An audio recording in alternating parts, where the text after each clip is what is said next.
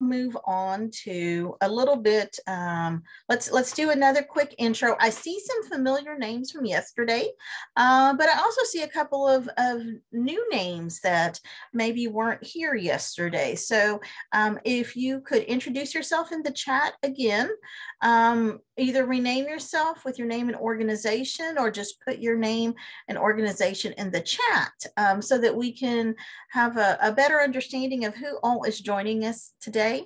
Um, and uh, we, we would appreciate that. I'll give everybody just a minute or so to do so.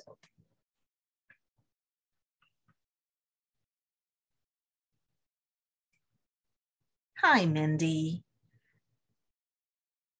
Welcome, Joe. Thank you for joining us.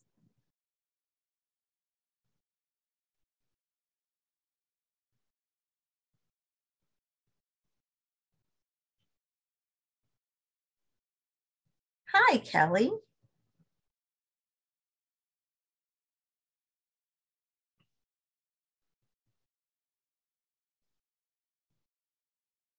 Perfect. Okay, um, we did see, I did, I do see, recognize a couple of names um, from yesterday. And so um, kind of to, to go ahead and kick us off, uh, I wanted to spend a few minutes just as kind of a recap from from yesterday, um, and I wanted to see. Oh, hold on, here we are. Yeah, just do a real quick recap. And the main thing I wanted to see is from you. Um, you see on screen a couple of the the um, notes that we saw, but I would love to hear from someone who was on yesterday about what your takeaway recap was from from yesterday. Who would like to share?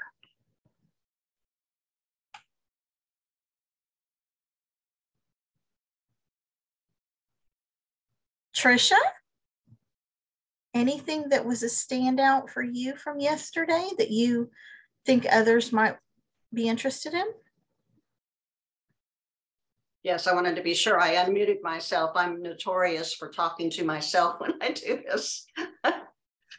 yes, I, I really feel that uh, we had some excellent panels giving some great perspectives. I appreciated uh, the opening panel hearing from uh, school health, uh, PE, nutrition, guidance and counseling, and the fact that a positive from COVID and the pandemic is bringing collaborations together. Mm-hmm. And having worked in a public school district, um, well, 30 some years of my career, I, I, I witnessed the fact that we, a lot of decisions were made standalone for your department. Mm-hmm. And uh, I'm just thrilled to see the collaborations that have resulted and and hopefully will sustain in the future because it only makes us stronger. So uh, we did have some excellent panels. I really enjoyed hearing from the students. They were very articulate. You could tell that they had put a lot of thought uh, into their role in improving the health and wellness in the campus setting. And so it, it's just good to hear from, well, students and adults that we continue to move forward. Mm-hmm. Perfect. Thank you. Thank you, Tricia. Karen.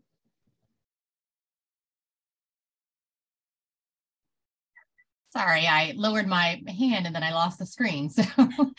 So, um, you know, just to kind of reiterate what Tricia said, um, you know, I also really appreciate having again the data out there to continue to say, look, you know, we're we're there, there's still some issues out there, and using that to show to school districts that, you know, we, we, there's still some work to do. But then on the flip side, yes, those positive takeaways from lessons that we learned from COVID.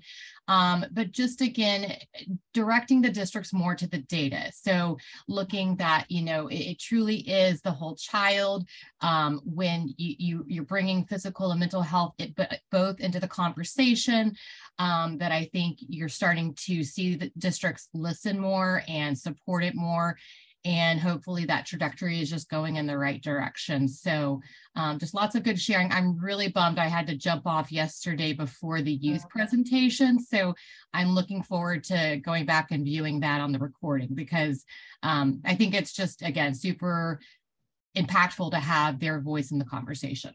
Mm-hmm. Good points. Good points. Yes. Thank you, Karen.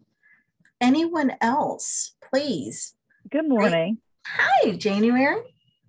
Well, I, I, would like to share. I'm the mental health and crisis counselor for Spring Branch ISD, and I thoroughly enjoyed all the the resources that were shared yesterday. In particular, me, you know, my base background being with mental health and with my current role with the district, I really enjoyed that presentation because it allowed me to get some data, you know, to share, bring back to my district as well as great resources that I was able to look up into last night and start collecting, having a database that I will be able to share with my district and the counselors. Wonderful. Thank you, January. Yeah. You're welcome. Anyone else that was on yesterday who might like to share um, a takeaway or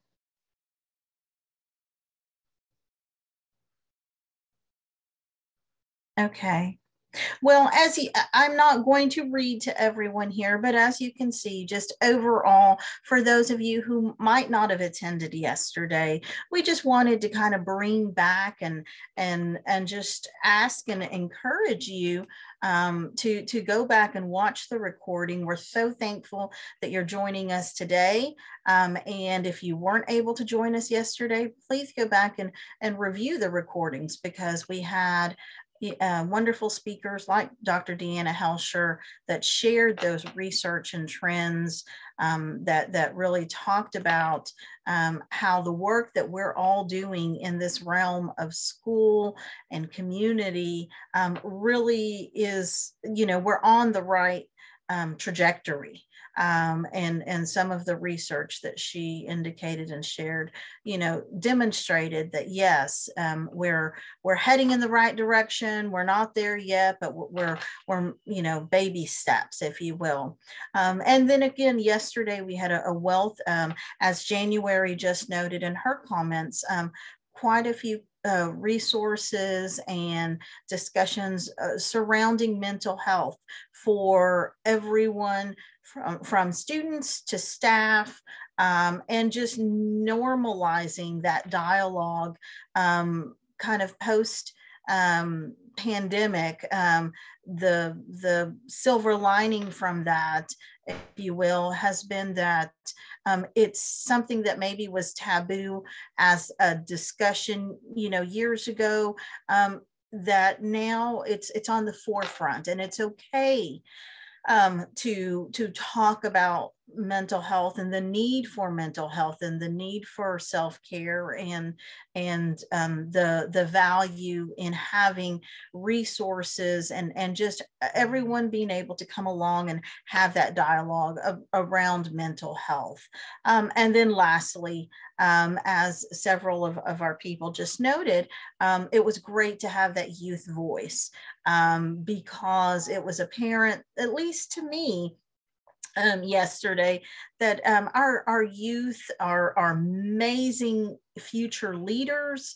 Um, they, they are all about getting involved um, and, and that us, um, we really should look to seek and survey the youth and, and they want to be a part of the solutions. And so um, it's, it's going to be a up to all of us to ensure that we are including um, our youth voice in in many of our school and community um, efforts um, just uh, related to, to school health. And so again, thank you everyone who joined us yesterday. Um, today coming up, we've got another wonderful morning. We're going to have a couple of panels but before we kick off our panels, um, similar to yesterday, um, we're going to have an expert kind of come on and talk a little bit about where where we are um, as a state moving forward, sharing a little bit about upcoming um, legislative sessions and um, maybe the role that we all can play in making sure that that our voice is heard. And so um, I want to introduce now uh, Mr. Joel Romo, um, who represents the Cooper Institute and the Partnership for Healthy Texas.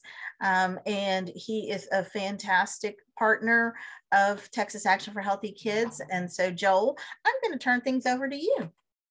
Well, good morning, and thank you, Alice, for the very kind introduction. I'll pay you later uh, for the kind words. um, always enjoy visiting with this group. I'm excited about uh, the coming year in terms of what we have in store for us, the opportunities with legislative policies and regulatory issues. Um, but also just excited that uh, you know this organization, Action for Healthy Kids, has, has a great uh, momentum behind them, and there's so many um, great folks that are engaged, and um, looking forward to harness that excitement and and help not only advance some of these policies at the legislature, but raise awareness about the importance of health and wellness in our children. Um, so as Alice mentioned, I have the opportunity of serving as the legislative chair for the Partnership for Healthy Texas. Um, I have been part of that organization since in its inception in 2006, and I'll go into a little bit about that in a little bit. Uh, but also just a little bit more about my background for, for any of the new folks that may be on, on the call with us today. Um, I have uh, previously my uh, I got started in this arena was I did government relations for the American Heart Association for about 10 years. And then that time I got to know Dr. Kenneth Cooper and went out on my own and, and still to this day, I still have the opportunity to work with the Cooper Institute on their legislative issues and programs. Also get to do some work with American Heart Association from time to time, the American Diabetes and others. So uh, very vested in the issues uh, that we'll be presenting and sharing and advocating, uh, but also uh, always enjoy seeing folks uh, come to the Capitol, meet with our lawmakers, or engage with them at the local level and share our priorities and, and, and talk about the importance and the data that each one of your organizations bring, the programs, and the work that you're doing not only locally, but statewide and federally. Um, so with that being said, um, I did want to give you a little bit of a legislative insight into what will be happening uh, this January 10th when the 88th legislature convenes. And uh, hard to believe, you know, we're less than two months away from the next legislative session. So what does that mean? Um, that means uh, bills are already being filed. The first day to file bills was this past Monday. Uh, in that first day, over 800 pieces of legislation were already filed between both the House and the Senate. Um, historically, throughout a legislative session, there's over 7,000 pieces of legislation filed. Um, you know, maybe 800, 1,000 of them make them to the governor's desk. So as you can see that um, a lot of uh, deliberation takes place when these bills are filed um, uh, a little bit more into the insight of the legislature coming up in January when they do get sworn in on January 10th. Uh, not much change in the makeup of the House. Majority, the Republican Party will have a majority of the House members, a little over 82, 83 members uh, of the 150. And then the Texas Senate, same, there'll be about 19, I believe, uh, um, excuse me, 21 uh, senators, uh, Republican out of 31. So uh, not much changed in the makeup of both bodies, nor at the leadership level. We still will uh, come January, the governor, lieutenant governor, and uh, we expect the Speaker of the House today to feed in to maintain his position as Speaker. So uh, we kind of know the, the leadership. Um, we know the issues that uh, are going to be priority this session for, for the leadership, and those are going to be the following. Those are going to be obviously school safety uh, and behavioral health um, given all the things happening and that have happened in our public schools from Uvalde and other items. There also will be a lot of focus on the grid. There also be a lot of focus on state border and, and security. There also be a lot of discussions on what are we going to do with a $26 billion surplus that's in the state of Texas rainy day fund.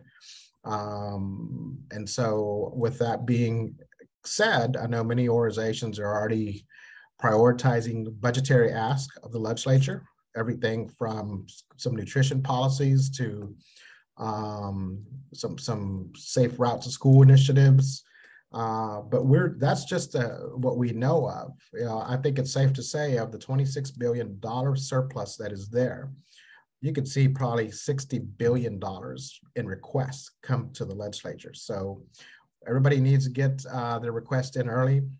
Everybody needs to engage their grassroots and advocacy efforts uh, to get the support for those issues.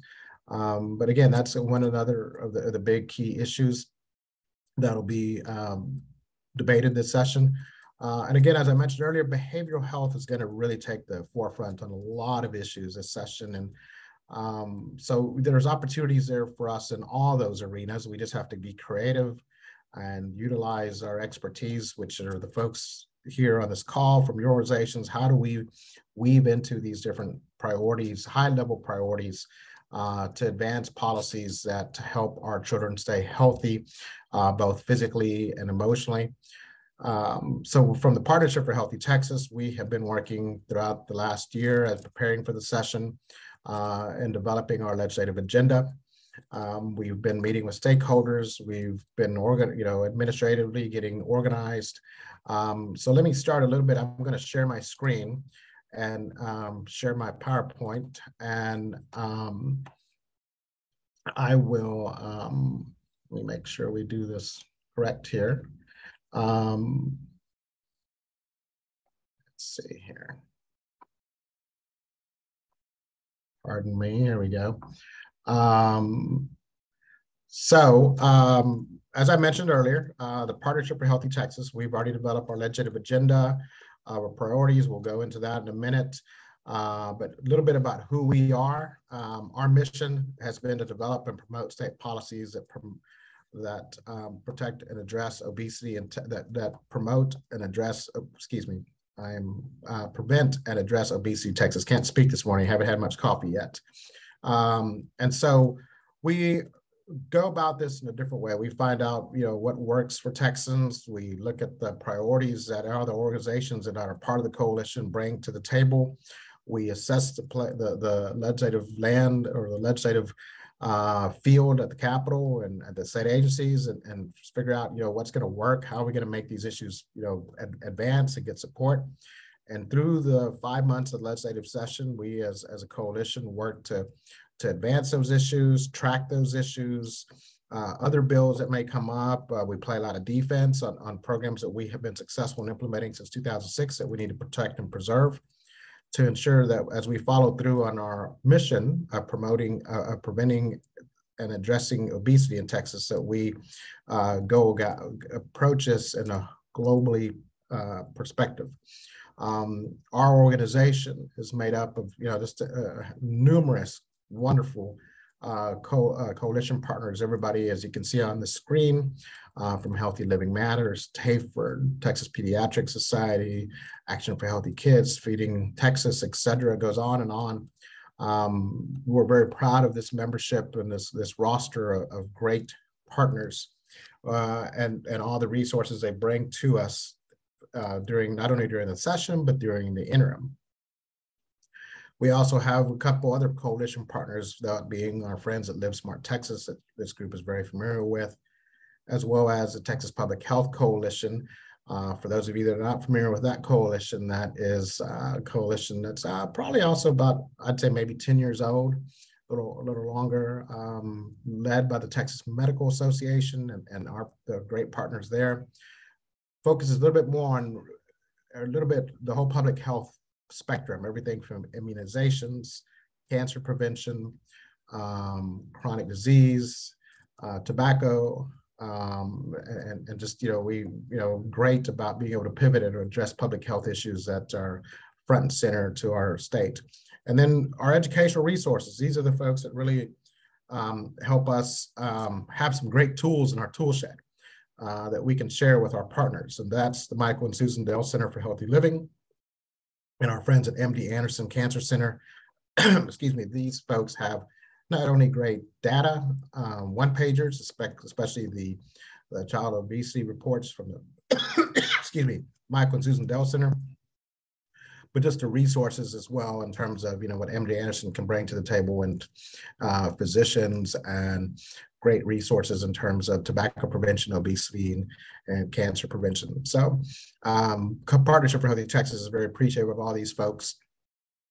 And one of the partners I did not mention was Methodist Healthcare Ministries. They have been very supportive of the coalition to helping us um, financially support our, our, our staff to kind of oversee the coalition as well as provide us the tools that we need sometimes to provide some legislative briefings and resources that we may not otherwise have. So many thanks to our partners at uh, Methodist Healthcare Ministries.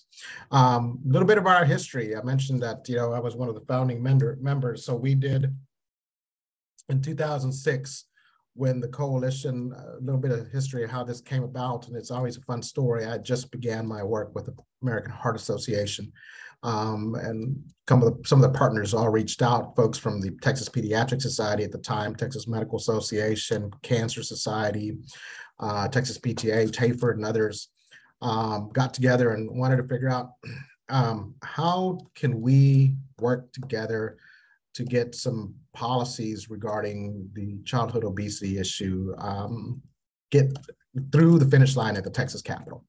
Um, everybody was working on their own initiative and lawmakers were divided on, you know, there's only so many votes they can cast on, the, on some of these issues.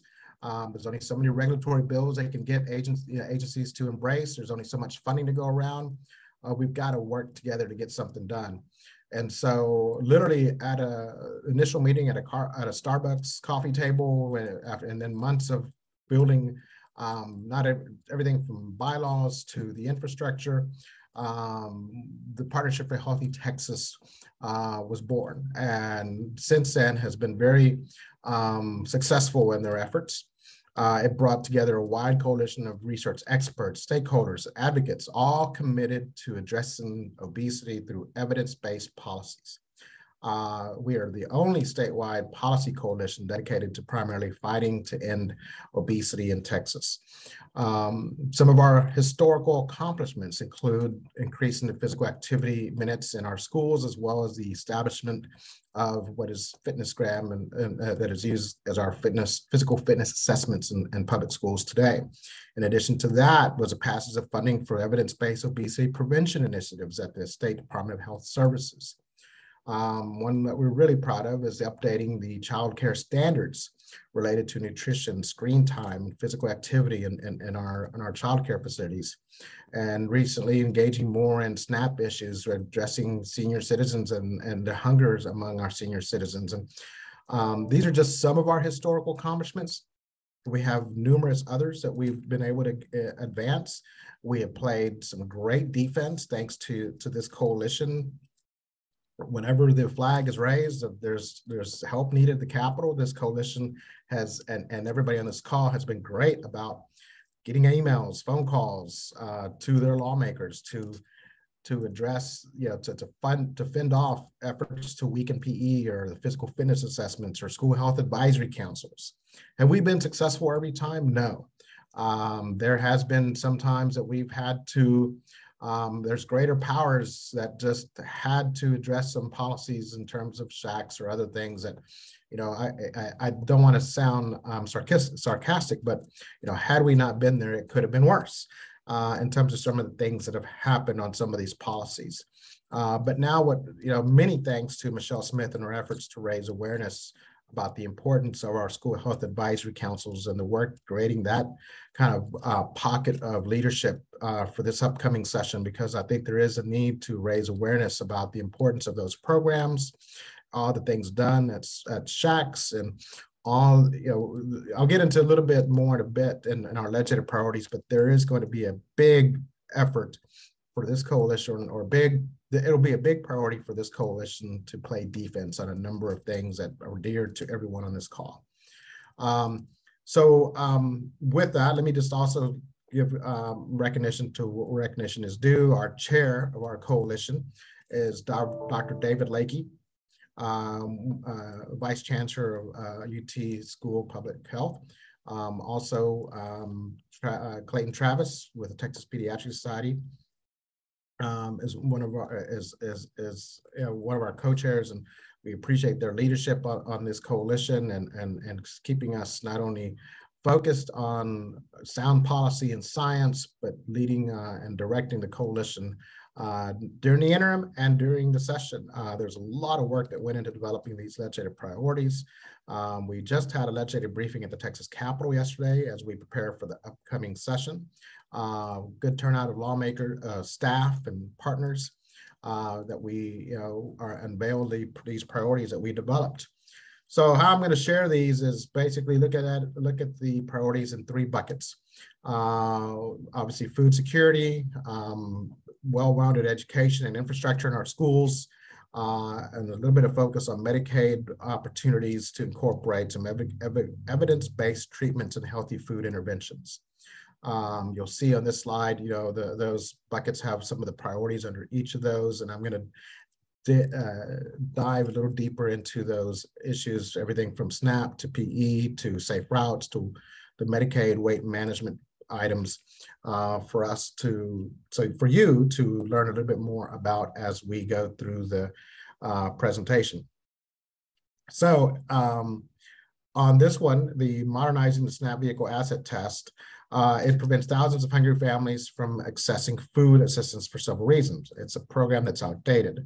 It's disproportionately harms uh, Black and Latino households, especially two-parent and multi-generational households. Um, it jeopardizes people's ability to work. As well, it harms families when, when inflation is high. Um, what's the solution? Well, that's what this policy proposal is about. It's to modernize the SNAP vehicle asset test by applying an inflationary adjustment to the current limits. Uh, as you can see here, our partners at Feeding Texas will be leading this policy initiative. They're already identifying some, some lawmakers um, uh, to take the lead as well as stakeholders that can help drive the change. And, and you know, this is one of the uh, areas that uh, the partners that brought us this policy and, and, the, and the steering committee, legislative committee have adopted this as one of the priorities. Um, another area that also Feeding Texas is helping us lead the effort on will be the redu reducing of hunger at community colleges. Uh, excuse me. Uh, we know college tuition costs are, are rising um, with the current inflation in our country. We also know with that, that means the cost of housing, food, and the other necessities of our students are increasing. So uh, the inability to afford basic needs uh, uh, is one of the many reasons that our community college students see uh, an increase in, poor nutrition. Uh, or as well as not completing their education. So they have to make some decisions. Um, our federal regulations severely limit the access to SNAP for college students, uh, and to, especially those attending more than half time. So that's a challenge. Uh, at a time that we're trying to ensure our, our youth are going through the workforce and getting whether it be a trade or, or, or academic background, uh, we feel it is important that um, you know our, our, our students um, have the access to healthy food so the legislative solution is that the Health and Human Service Commission should identify college degree programs that are vocational or technical in, in nature so that students enroll in these programs can receive the SNAP benefits. Um, so, you know, that's again an effort that will be led by our friends at Feeding Texas and a legislative priority that um, hopefully many of you can help support and put in your legislative agendas if you have not had or if you're still working on developing your legislative agenda. And then next, um, we have um, Food Bucks, the Double Up Food Bucks Initiative, uh, Snappy Healthy Food Initiative Program. Um, we're right now we're looking to appropriate at least five million to Health and Human Service Commission to implement a SNAP incentive program that allows retail retailers to offer matching incentives to SNAP recipients who use their benefits to purchase healthy fruits and vegetables. Um, this initiative will be uh, led by the Sustainable Food Center and the American Heart Association. As you can see here, uh, they're making a legislative request of 5 million to the Texas legislature. And remember, um, I said there was about $26 billion. So there's 5 million right there that's going to be requested of the 26 billion. Um, so you're 5 million into that. Uh, this is just on health and obesity initiative. So I'm sure other groups um, have some great budgetary requests, but again, the pot is only so big and lawmakers are only going to divvy out uh, they may not divvy out any of that $26 billion. They may feel it's um, priority to save that money what it's intended for, which is a rainy day. Uh, but I'm getting off subject there, but just kind of giving you, this gives you a highlight of, okay, so all these people asking for money. Uh, here we are, the Partnership for Healthy Texas will be pushing and supporting an initiative for 5 million to the Health and Human Service Commission for SNAP incentive programs for the double up food bucks. So again, um, we'll be advocating for this. And I know as uh, the two organizations working on this, we're looking at identifying lawmakers to help lead these efforts uh, and get the initiatives going in, in this coming session. Um, here's one that I know is dear to everybody on this call. Not that any others aren't, but I know that everybody on this call, I'm speaking to the choir when we know the benefits of having kids stay physically active. We have plenty of data that demonstrates the correlation between um, less absenteeism, increase in um, academic performance, uh, less chronic disease, cost savings when students are healthier.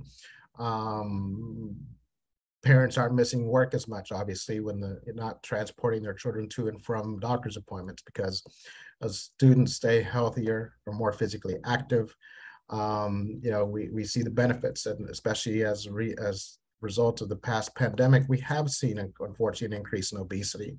Um, and we saw a lot of easement on physical activity requirements in schools.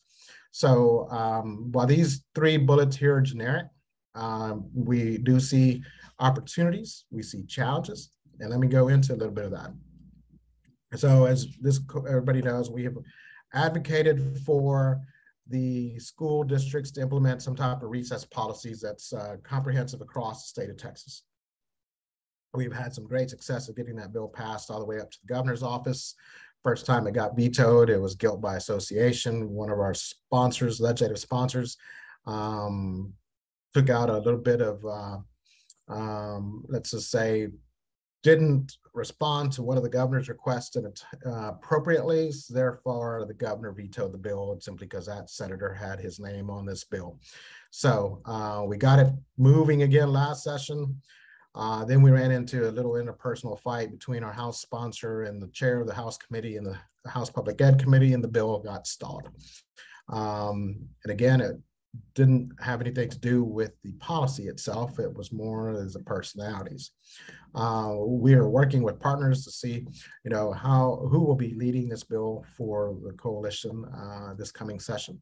Um, we'll rebuild the the leadership, the, the advocacy group, advocacy folks behind it again, uh, and we hope to get it all the way to the finish line and signed by the governor this year. Protecting and restoring PE and health education in our middle and high schools. Uh, as everybody is familiar, health is no longer an, a requirement for graduation in high schools. Uh, over the years, we've seen PE requirements scaled back um, and many waivers. Um, we've seen an increase in waivers for PE. We are trying to get legislation to restore that health education requirement uh, in working with all the partners, some of the arguments we hear, not arguments, but more of this justification for that is obviously we want school children to learn healthy habits so that when they graduate, they know the importance of eating healthy, staying physically fit, the emotional health, uh, behavioral health issues that are benefits of that. Um, what we also know is this is kind of where everybody gets dumped and all these programs get dumped into health education, but now there's not a requirement for health education. Um, so all the programs that the legislature has mandated um, in terms of the PAPA program, CPR, et cetera, uh, folks have to get creative and figure out where to put those since health education is not required. We see the benefits for for having health as a graduation requirement. We all know the benefits of increasing PE minutes and restoring what we've lost. We do have some challenges given the, the number of minutes in a day, administrators that may feel this is going to take away from other programs and, and the fine arts individuals and, and athletics. So um, we do see some opportunities in what visiting with our friends at TAHPERD and others. There, there may be other PE related opportunities, ensuring that um, uh, some programs or, or, or, graduation routes are not penalized for kids that take PE. Um, there may be some areas that uh, we can see PE being a benefit for behavioral health. Um, so we are looking at what these proposals may look like, and, and we'll be filing some bills on these over the coming in the coming weeks. Uh, and we'll need everybody's help. But we also are going to have to play defense just to simply keep what we have in the books. Uh, lawmakers always like to scale back. Uh, and, and that leads me into this next one in terms of requiring the physical fitness assessments in public schools. Um, my understanding that uh, uh, you know the, during the pandemic, uh, the physical fitness assessments for requirements were waived. Uh, we haven't seen that in this last year. It's my understanding there'll be uh, Texas Education Agency, if they already haven't, will soon be uh, releasing, you know, the physical fitness assessment um, guidelines for, for, for the next school year um, and the software.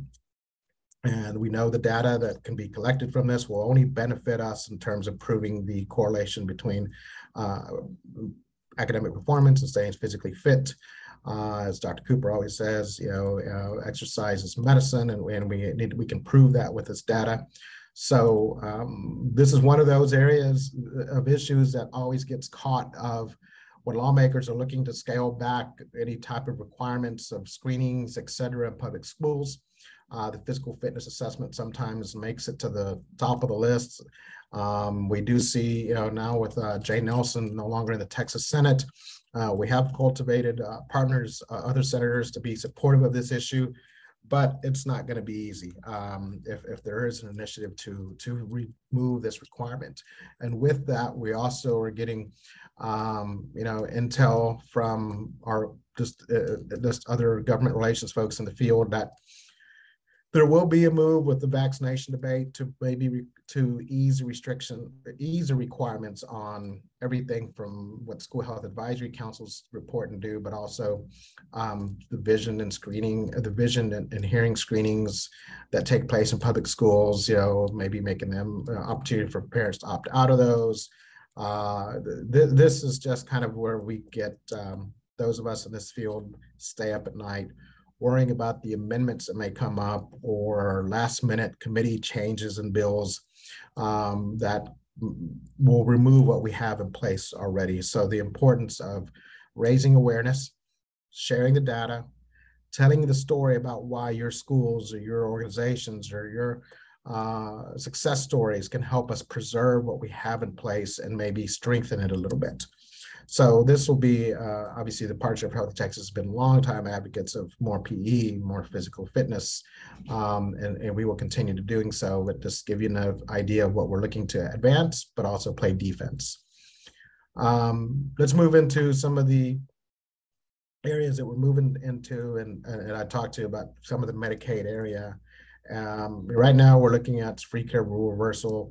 Um, CMS Medicaid free care guidance schools were allowed to bill for Medicaid only if students enroll Medicaid, et cetera, healthcare services related to their IEPs. Um, what we're looking at some challenges uh, that opportunities for some of these reversals in the Medicaid world is allowing schools to request reimbursement for all services to all students enrolled in Medicaid, whether they're not in the IEP or not.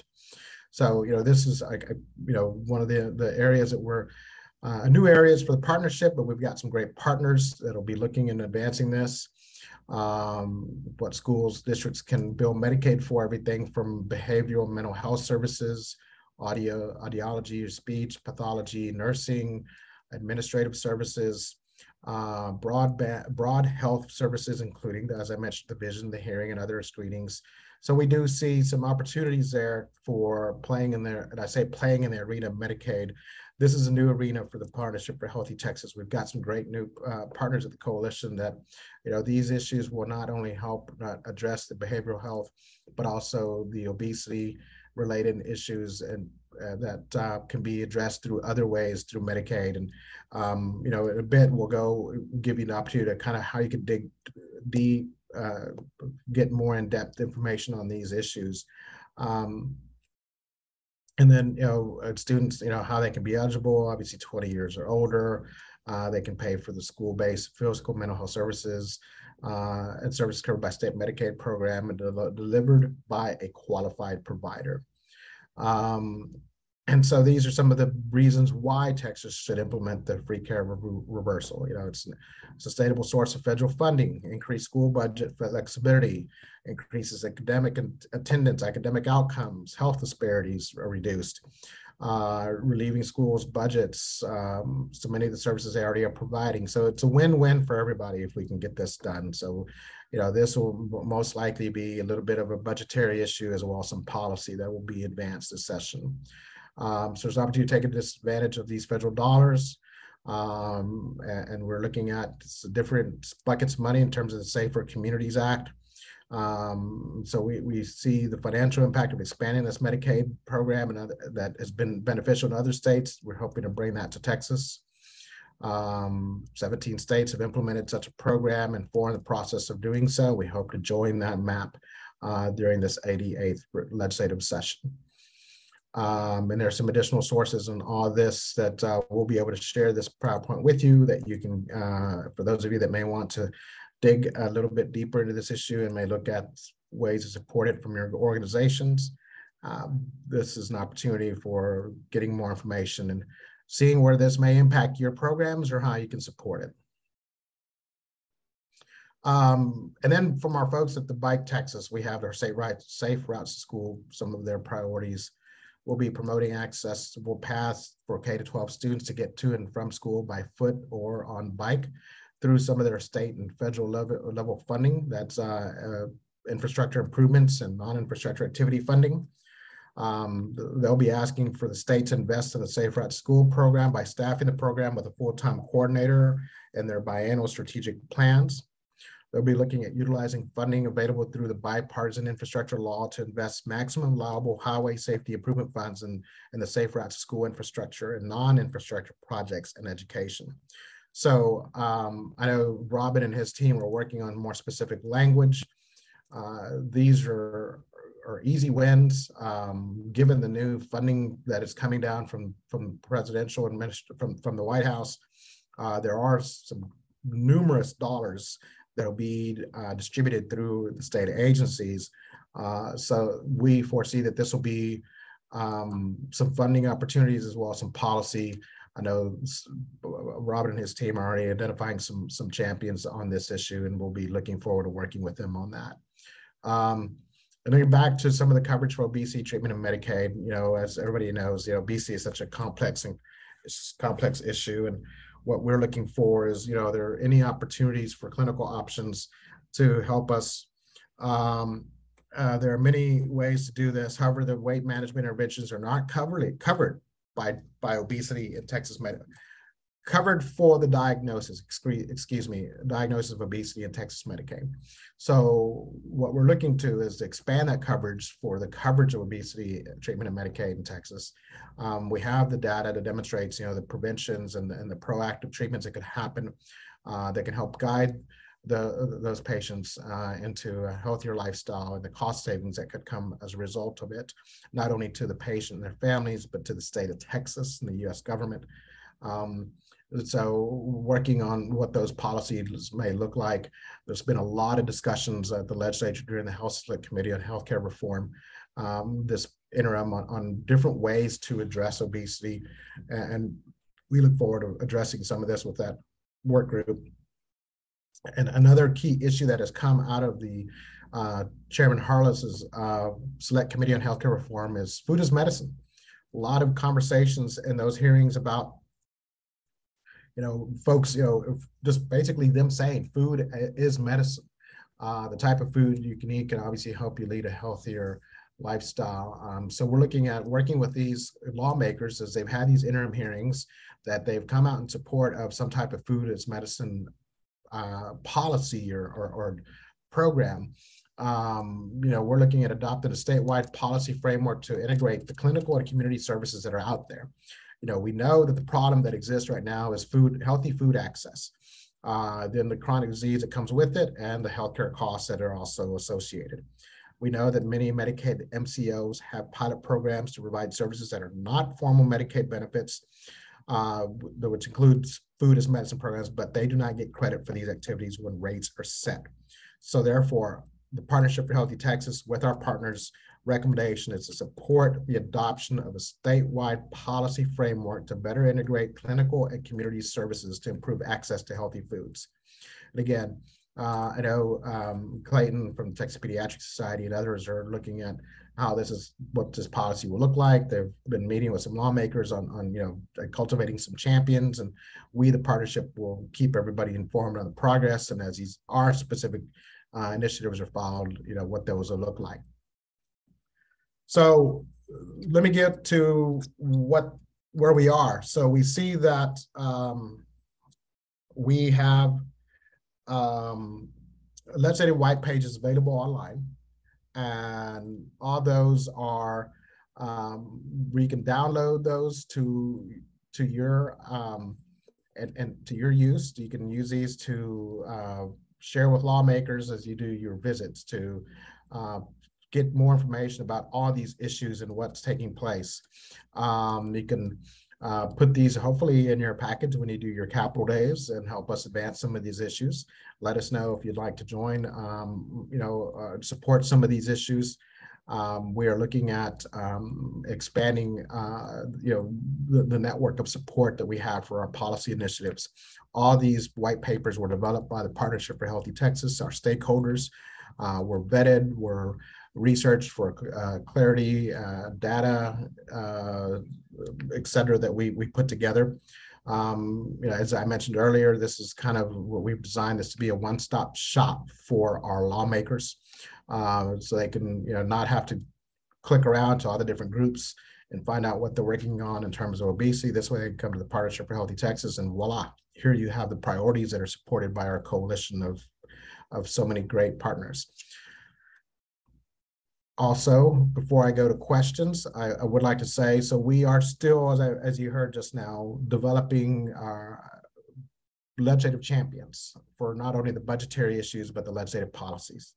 Um, you'll see that as our newsletters go out, you'll see uh, progress reports on you know bills that are being filed that partnership is pushing our champions and that we need to rally around them. We'll also keep you posted during the session, as I mentioned earlier, on issues that we need to engage in and be, you know, prevent from reaching the floor if they're harmful to any things that we've done in the past. Um, we also um, will probably work with our partners in terms of uh, joint, you know, jumping in where we can to provide legislative briefings. If you're interested in joining the Partnership for Healthy Texas, or you already are a member of the Partnership for Healthy Texas, we will have standing Thursday legislative meetings, 10 a.m. in the Capitol. Uh, I think we're going to start those maybe the January 12th. I'm not certain. Uh, but we all historically have always had a standing legislative meeting in the Capitol that Thursday every week um, to get kind of where we are with our bills. What do we need to prepare for next week? Who's got capital days coming up? How can we help our partners and advance their initiatives? What do we need to do to raise awareness? Who do we need to go see in the capital? Um, and so if you'd like to join any of those, feel free to reach out to me um, and we can get you engaged. Um, we also, if you do have a capital day and want us to speak at one of those or would like some information from our coalition, reach out to us. We're happy to join with you or uh, come in and present uh, if you're having a briefing or just educating your advocates. Um, and we also are, you know, we've got plenty of resources. So please, you know, we're here to help you not reinvent the wheel. Um, and if you're doing any in-district visits before the session begins, let us know. We're happy to join you. Or if you want to use this information and just kind of want a little bit of, you know, hey, how do I sell this to this lawmaker in East Texas or South Texas? Um, we, the Partnership for Healthy Texas, are more than happy to spend a little bit of time and bringing you up to speed and helping um, you kind of navigate the waters as you advance and get ready for the upcoming session. With that, I'll stop and see if there are any questions.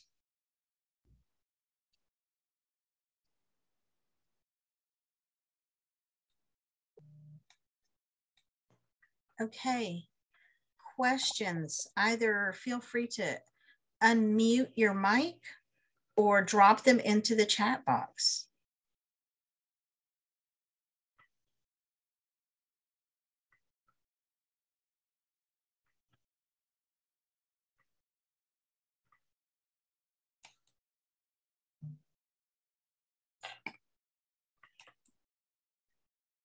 Um, I have a quick question. Go ahead, John. Uh, uh, Joel, so what, what's the status with with FitnessGram moving forward? We haven't had access to that system for quite some time now, and and this happens, you know, every year that contract comes up for renewal. It seems like we have access to being, we have problems accessing the system. Is, is that going to continue, or what, what's your take on that? Because it, it, it's it's really quite you know cumbersome for us. The district level, we have this requirement to test kids, but yet the database isn't available and we have to find other ways to do that. Do you, are, are, is there any support for getting that rectified moving forward? Well, uh, thank you for the question. I've received that a few times. If it were up to folks such as the Cooper Institute to rectify that, we would. It's more of a state agency issue. Yes, uh, I understand that. And, and so contract wise, I, I know uh, just to complete transparency, FitnessGram is now owned by Greenlight Credentials. They own the FitnessGram software. So they are the vendor for FitnessGram. The Cooper Institute is no longer the vendor. It is my understanding that the uh, selection has been made for the tool to that'll be used for the next school year and that all that should be rolling out very soon and there no, will be no change in software. Um, now, could there be some type of legislative requirement to make the agency coordinate when those contracts are executed with the school year? I'd, I'd love to see it happen. Could it be done? Um, we could, you know, certainly probably would support that. It's just a matter of whether or not which lawmakers would. I'm sure there's numerous other contracts not related to this that are probably done mid-year. Um, you know, if there's a way to coordinate that, you know, that we'll be happy to jump on board and make sure, because I know it's a burden for for the folks that have to enter the data and use a program to have to either hurry up and enter it all in at one time or forego it for the year because they get the approval for the software too late in the game. Exactly. So I, I understand completely. If I had a magic wand, we'd love to fix it. Um, it would probably take a, either a, a legislative fix or a state agency fix. And, uh, and if any of our TEA friends are on the call, I do not mean this disrespectfully, but I know TA is very shorthanded in the terms of the area of health and wellness. When the good old days, when they had at least six to eight people, I think we're down to half an FTE that runs that whole department for the state of Texas. Okay, well, thank you. I'll be happy to work on it or champion if I can. Yeah, please, please, because you know, I mean, it, just it really does make things difficult for us and, and really for our teachers because they're the ones who have to gather this data and then hold on to it. You know, and sometimes you know they're they're taking the data down on paper and then transferring the system when it would be so much easier for them just to be able to do it directly into the system. And so, you know, asking them to do twice the work, and it's just maybe it does become a problem. It's very frustrating for them. I understand. Thank you. Thank you for the question, John, and, and the comments. And again, um, it's it's important for all of these sorts of uh, concerns to be uh, brought to light. And, and Joel certainly is someone who um, can benefit from hearing um, and, and can, you know, do what he can in, in part, certainly when it comes to writing in or supporting um, some of that, which uh, related to the FitnessGram. Um, do we have any other questions?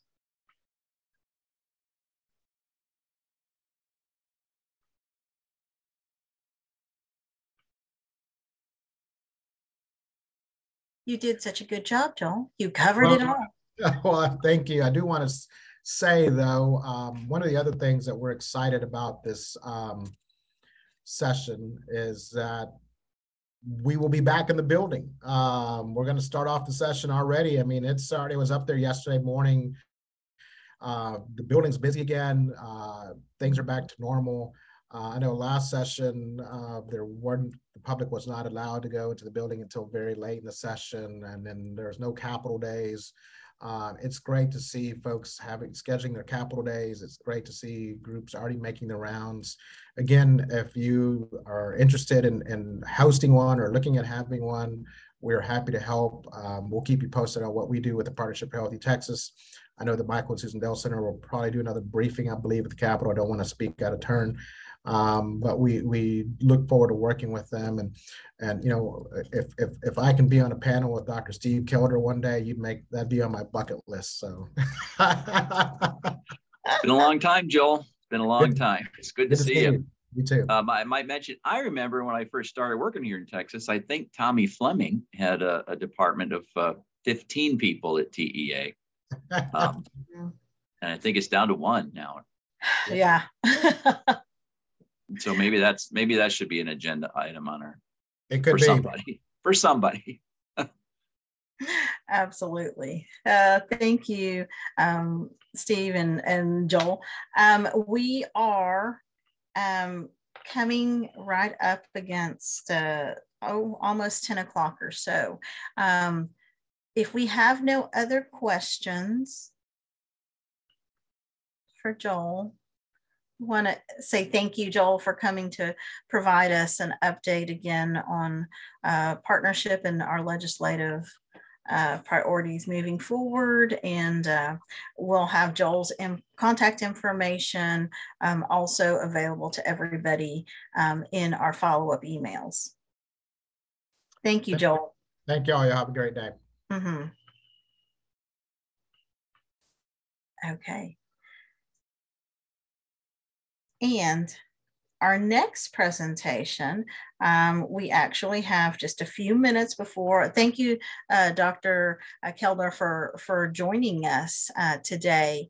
Um, we are going to give everybody a little stand-up break, I think, because we uh, we've been going here for the last hour, hour and a half, and I think everybody needs a little time to go refresh coffee um, and uh, um, just grab some more water. Um, if that's okay with you, Dr. Kelder, we have you down kicking off here just uh, just around 10, 10.05, Yep. I think. Sounds good. You know, I think I need a cup of coffee too. okay. So everyone, uh, you can just just take the next few minutes, take a little walk, um, grab some some more coffee, and we will be back shortly. Okay. See everyone back uh, right at around 10 o'clock or so to start checking mics.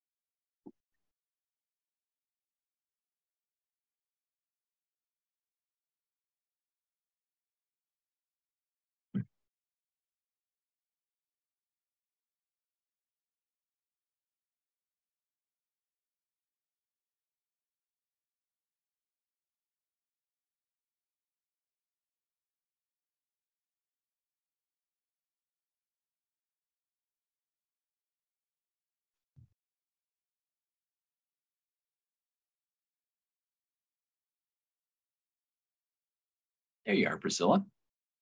Hello. Hey there. Lessons learned. Well, we're better at this technology than two years ago, that's for sure. That is for sure. And everyone else is too. Yeah.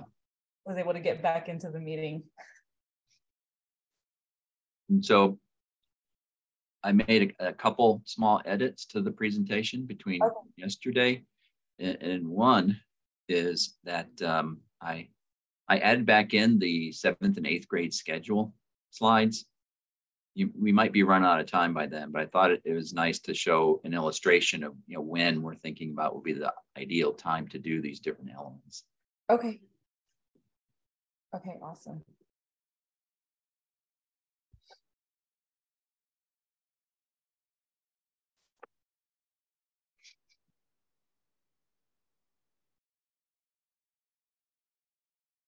So who are you training today?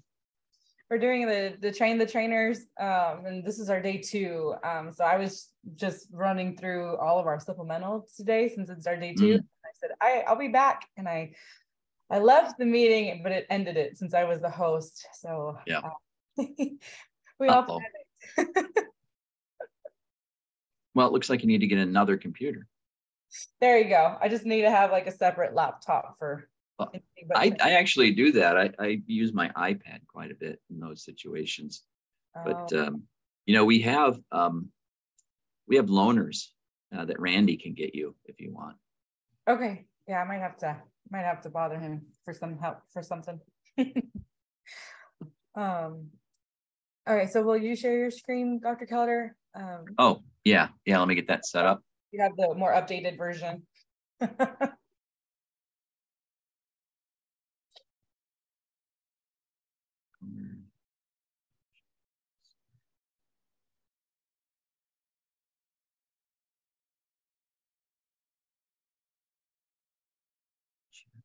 There it is.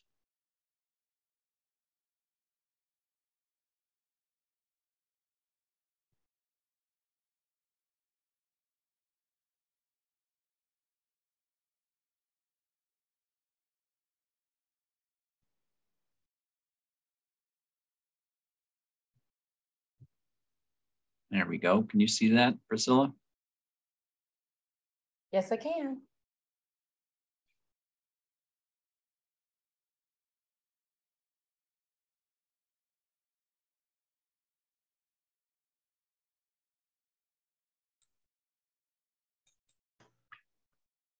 Perfect. Thanks so much, Dr. Kelder. Uh, we will be kicking off. We're going to give everybody just another minute or two to Sure. uh, possibly join on. Oh, here's somebody else coming in. So I'll still letting in a couple of people that are joining. Um, lots of interest in this session. So Well, good. That's nice. yeah. I'm not sure we've met, Alice. Have we met somewhere? Oh, yeah. Oh yeah, we have. When did we meet? I'm just getting old and I can't remember stuff anymore. No, uh, a number of times uh, in. In Austin over um, probably back when we were still doing our um, health champion awards over at um, um, uh, like the AT&T conference centers, or Oh. we've met. Um, I've been on a couple of Deanna's uh, committees and projects. Yeah, Come, I figured you and joined us. probably know Deanna and, and Sandra Evans pretty well. Mm-hmm. yeah, so- too. Sandra, Sandra and Carolyn, yeah, and Nalini, yeah. Carolyn. Uh-huh. Yeah, yeah. They all have worked on our Texas Grow Eat Go projects and Mhm. so forth. Yeah, yeah. So Yeah, Absolutely. Well, I-. I have swerved into e-cigarettes now, so I don't I don't get to see the old crew the same way. Absolutely. Well, but uh, and I'm glad you have swerved into e-cigarettes because this is definitely this and um, you know, all of the vaping has just really yeah. And yesterday that came up a couple of times in discussion as well in, in our session yesterday. So Yeah. Okay. Well, hopefully that can be helpful. uh, I know you will be. okay, everyone. Let's go ahead and um, get started, I would um, like to introduce Dr. Steve Kelder, um, who is professor, as you can see here on his um, mm-hmm. title slide, uh, epidemiology, human genetics, uh, environmental sciences, and he is at UT School of Public Health in Austin. Um, and then also Miss Priscila Garza, who will also be co-presenting. Um, and we're so thankful to have both of you here today um, to share a little bit about um, what is going on with e-cigarettes and vaping. Um, and thank you for joining our Action for Healthy Kids conference um, today. And so I will continue letting some people in. I, I, see a few more that are joining us. But if y'all would like to, um, if you don't mind, Dr. Kelder, um, giving just a little intro about your background also, that would be helpful. Sure. Well, thank you very much, Alice. and good to see you again. Feel like a jerk now. anyway, so thanks for inviting me to come and, and speak to you guys. So um, Today, we're going to talk about e-cigarettes. I'm going to talk about uh, wh where the research is for the epidemiology of e-cigarettes. Uh, and then uh, Priscila Garza is going to talk about a program that we worked together on called CATCH My Breath. I, I, thought that might be of interest to sort of summarize what's going on with e-cigarettes from my end. Uh, and then Priscila talking about what it's like in the field. Um, and uh, you may or may not know this, but uh, Priscila is a, a, student at our campus here and is working uh, closely with uh, the group at CATCH Global Foundation in implementing CATCH My Breath. And so, in fact, she just left a training this morning and she's doing a train the trainer system. And so she knows a, a lot about how to train schools and, and, and what schools are doing with this topic. Uh, my own background is uh, uh, I've, I've, worked in a number of areas. I, I call myself a child and adolescent health um, researcher and practitioner. And so I've worked in injury and violence and HIV, STD, alcohol, uh, obesity, diet, physical activity, and most recently in uh, e-cigarettes. So uh, I've got a fair number of slides, so let's just move forward if that's okay. And so I, am assuming that a number of you are obesity researchers because that that's been the history, I think, of Action for Healthy of, of, of your organization. So I'm just going to cover a couple of the basics. And so if you look all the way to the left, 1975, I was in high school. And uh, the, the smoking rate for high school seniors was a little over 35%. I graduated in 76, where it got it went up to almost 40%. So just imagine if 40% of the high school kids that you know, um, high school seniors, uh, were, were current smokers. In fact, we had a smoking lounge in my high school just for students. There's another one for teachers too. Um, and so one of the success stories that we talk about, whoops, one of the success stories we, ah, one of the, I touched the wrong button. One of the success stories we talk about in public health is, is this decline. And so you can see it went down, stayed flat for a long time, and then it started going up. Uh, and, and, part of the reason for the upward slope up until 97 was, was a, a shift in the way that uh, tobacco products were marketed, uh, going into discounting. But then you see the real public health work happening from 97 all the way down to 2021. And so some of us who are in the tobacco control field are saying, well, you know, maybe we've licked prevention with kids. Um, but then e-cigarettes came along and e-cigarettes were introduced in the marketplace, uh, I think around 2011. Uh, and so this is data that was just published last, I think this week, even from Stan Glantz, who's an advocate for tobacco control and has for his entire career. But, but here we see as time goes on, we're seeing that um, the first product that's used by adolescents uh, is now very high uh, up at uh, e-cigarettes are what kids are using and, and, and regular cigarettes are, are declining rapidly. So this mirrors what I just showed you. Kids are not using regular combustible cigarettes so much. Uh, they're using e-cigarettes instead. And the problem with that, in my view, is that uh, e-cigarettes have nicotine. And when you use nicotine, you have a propensity to become addicted. And you also have trouble quitting because of withdrawal. And you know, I'm not going to get into this slide very deep at all, just to say that there's a number of genes which uh, regulate the effect of nicotine on your body, um, and they they have to do with the pleasure and reward center. If you look on the left hand yellow, it's dopamine, Uh, and that's one of the reasons that'll get people to, to stay on nicotine.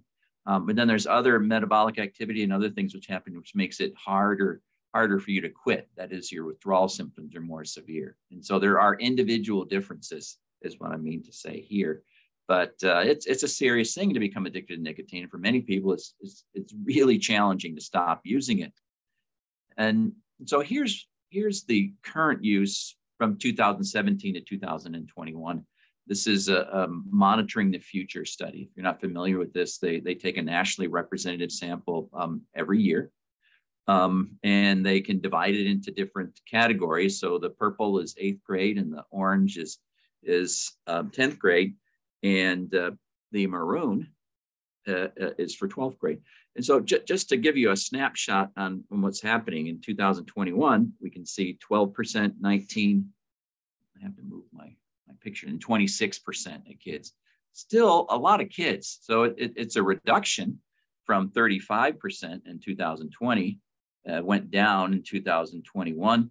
And in other surveys, it's showing a resurgence back uh, in 2022. And, and I think part of the reason is that uh, during COVID, when kids were staying home from school, um, smoking is a social behavior and if you're not social with your friends at school if you're if you're not at school if you're staying at home a lot if you're uh, you know tele educating yourself then there's fewer opportunities to start using um, every kid that starts using an e-cigarette is at risk for becoming dependent um, and then addicted.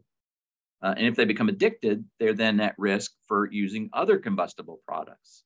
Uh, and, and that's that's the pattern that we see with adults in a number of instances is that you know people that smoke cigarettes and then start using e-cigarettes to to help them quit end up smoking both. And that means they're smoking all day long in areas where they couldn't smoke before because e-cigarettes um, although they might although now there's there's indoor air quality standards for e-cigarettes too but they're so easy to sneak um, and so when you go into the go into the the bathroom, um, you can smoke an e-cigarette and not many people will know. There's still a smell, but it's not that tobacco smell and it doesn't hang on your clothes the same way. Oops. And so here's a different survey from the CDC. They also take data just on tobacco. So the Monitoring the Future uh, covers all different forms of substance use. It's up at University of Michigan. If you're not familiar with it and you work or thinking about working in substance use, I would I, I would definitely go and look at their reports. They're they're very detailed.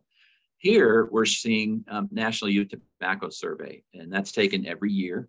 Um, the 2022 data has been released, just a, a small a snippet of it. All, all, it, all they have released is the middle school numbers and the high school numbers. So that's the average, ninth through 12th grade. So it looks a little bit different than what we saw before because I was just showing you uh, 12th grade numbers.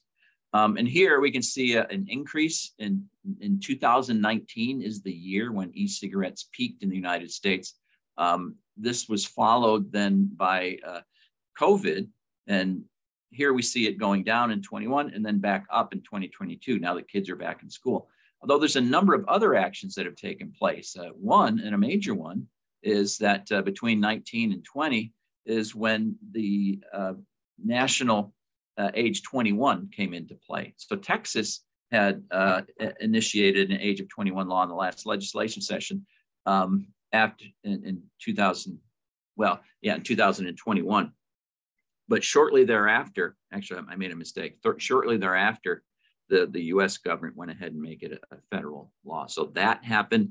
Um, some flavors were taken off in the marketplace. That happened uh, after 2019. Um, they also banned flavors, certain or most of the flavors in Juul cartridges. So the so under the Trump administration, they they uh, enacted with the FDA uh, a ban of uh, flavors except for mint and tobacco for cartridge devices. And what that happened is the Juul use rate went way way down, and the disposable e-cigarette use went way way up because they were exempt from the flavoring issue.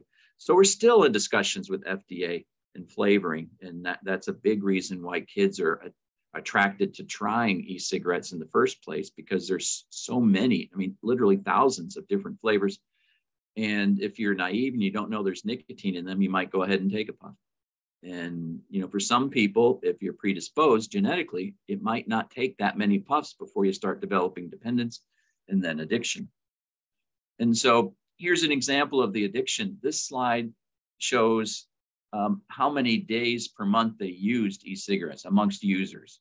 And so again, over the years. So early on, um, one to two days a month, not, not very much. And then that slid down up until 2021.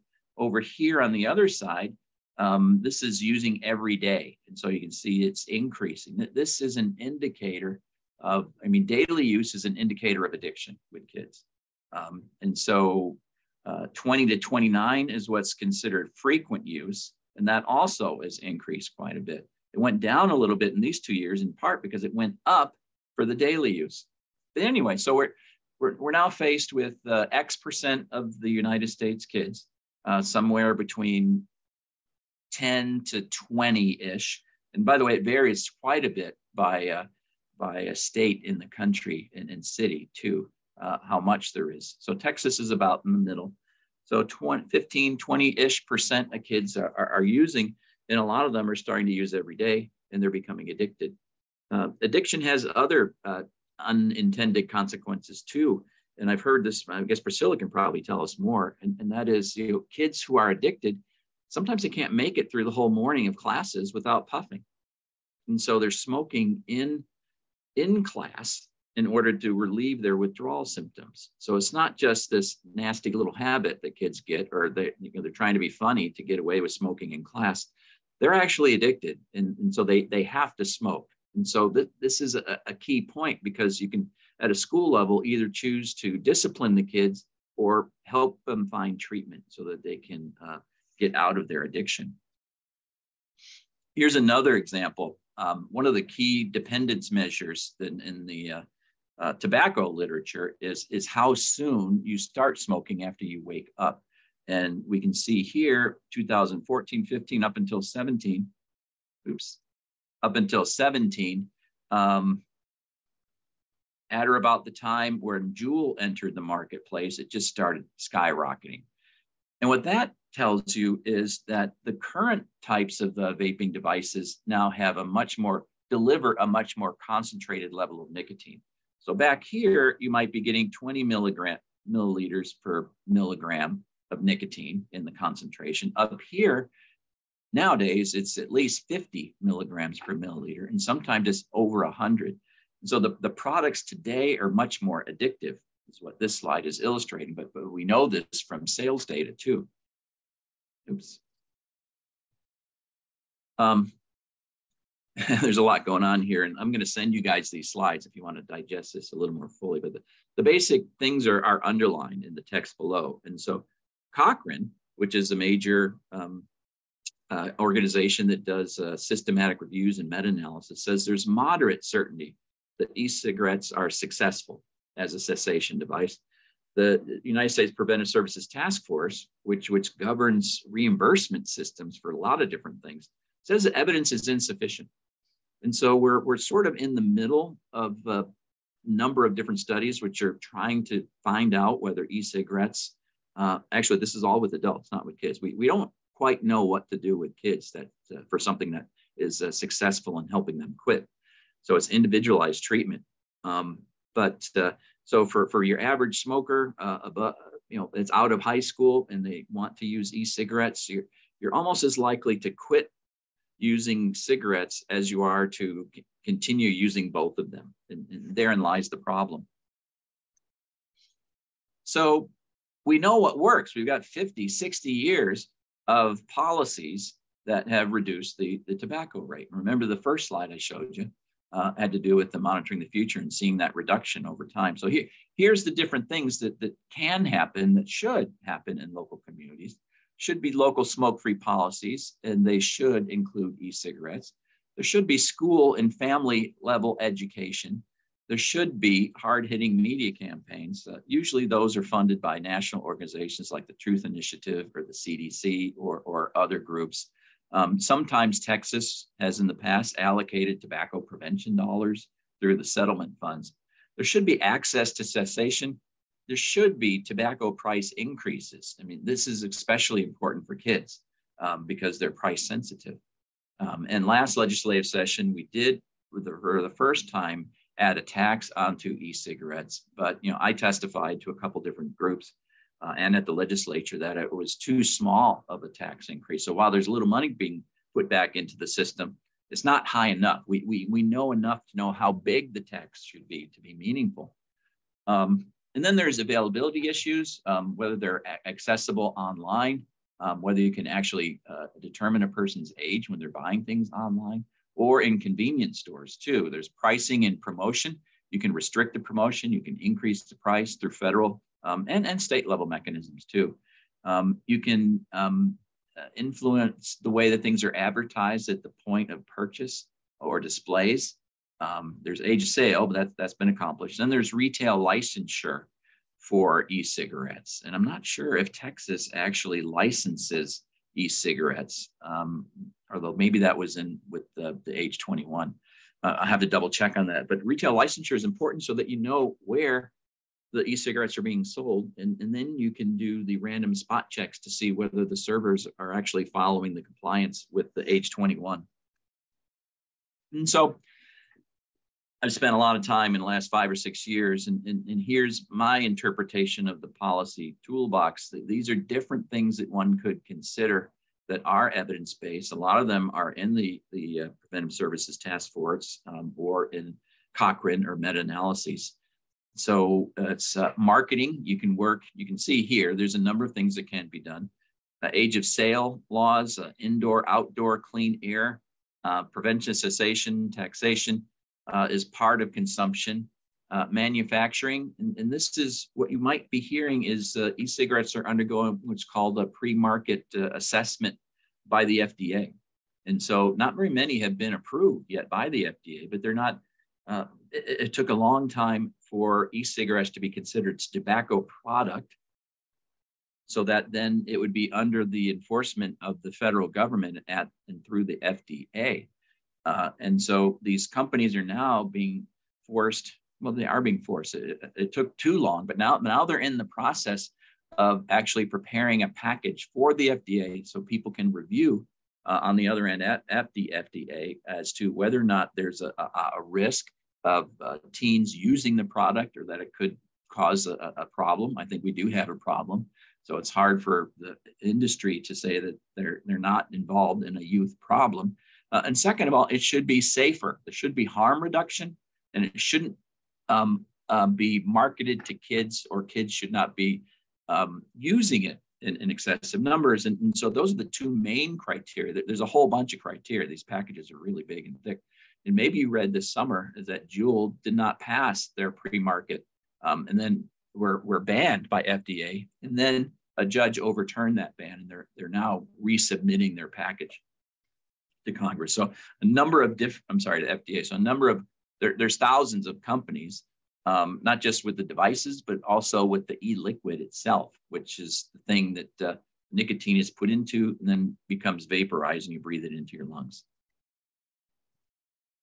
So just a few warning signs that have been seen, um, irritability, anxiety, mood changes, lack of impulse control. These are all have to do with the effects of nicotine on kids. And what I like to say to middle school teachers is, would you like more irritable kids?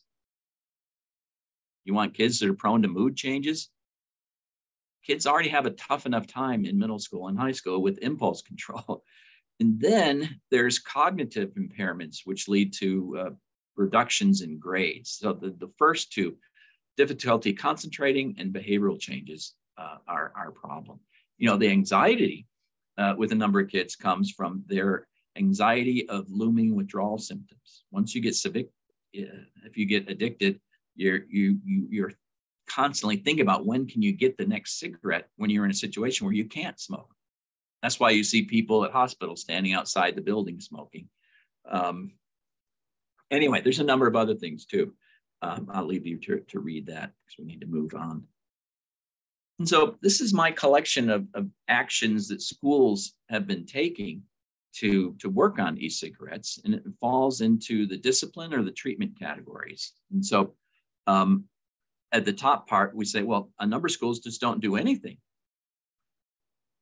Others uh, confiscate the device. There's detention, suspension, restriction of, I'm sorry, ex, oops, come back.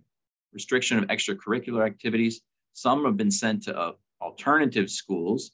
Uh, some have been asked to do community service in lieu of suspension, dis, uh, detention, alternative school expulsion. And then the school police are, are, are getting involved too. So this, this is what you know many of us call a big old nuisance for schools. And I, have talked to some school administrators, and, and they they now have so many kids that they catch with e-cigarettes that they're having to hire additional staff just to process the kids. Because you know, in, in many cases, the procedure is to you know if you catch them, then you call the parents. That might lead to a, a parent student teacher conference. Um, if you start sending kids to alternative school, parents get upset and then they're calling and needing to find out. It's, it's just easy to see that um, it's costing schools more money just because they're catching the kids.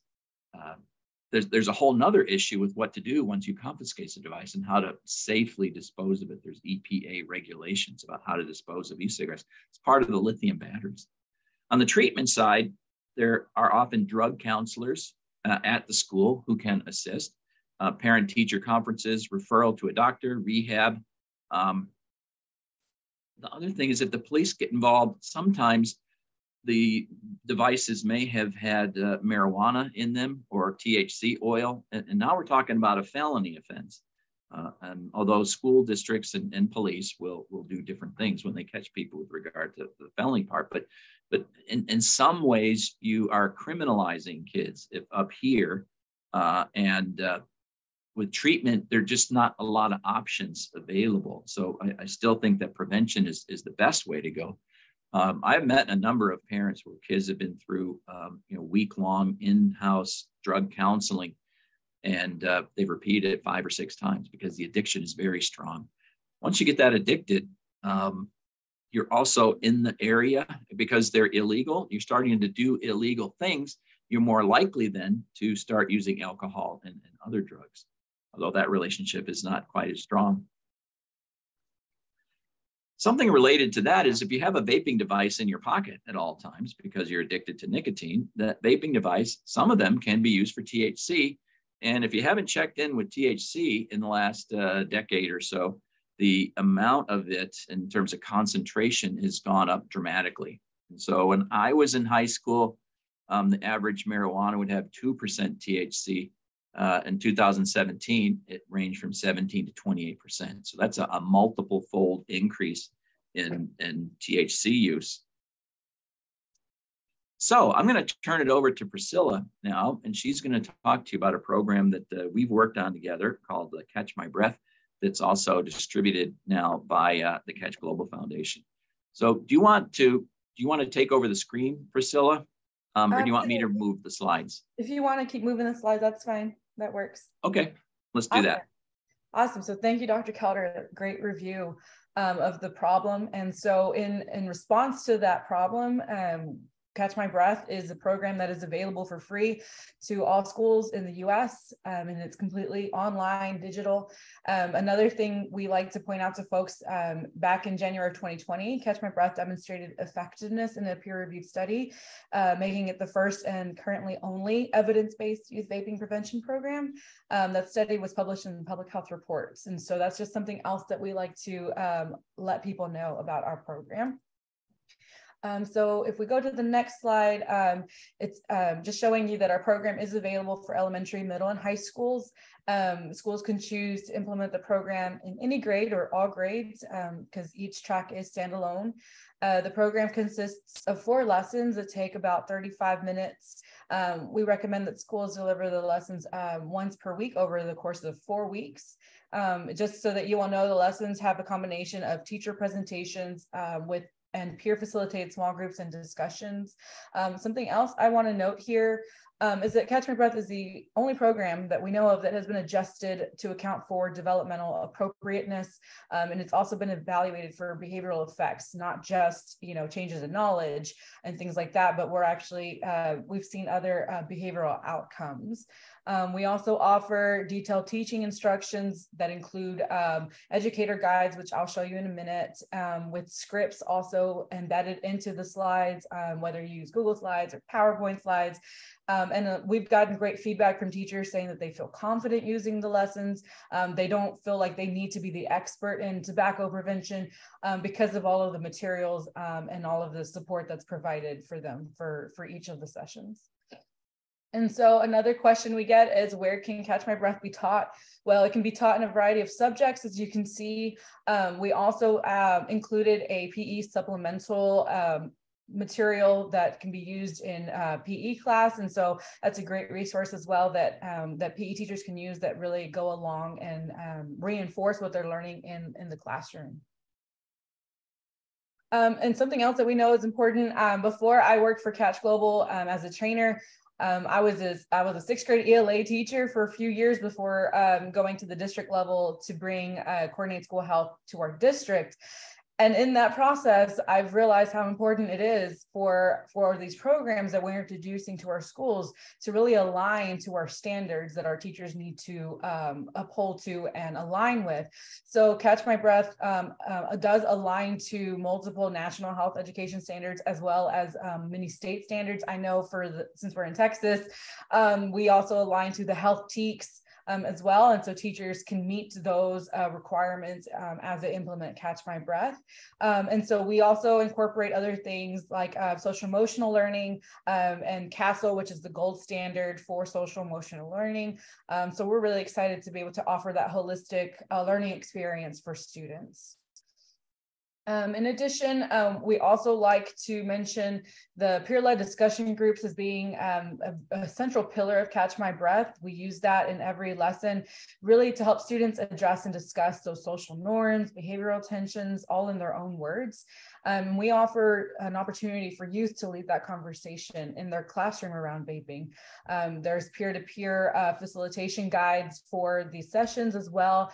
Um, teachers can choose whether they want to uh, do more of the facilitation themselves or hand it off to their students and train them to be those facilitators. Um, and so we are flexible in that you know the teacher knows their classroom the best and so they can offer however they see fit but we're really glad to empower youth to have a lead in that conversation around vaping.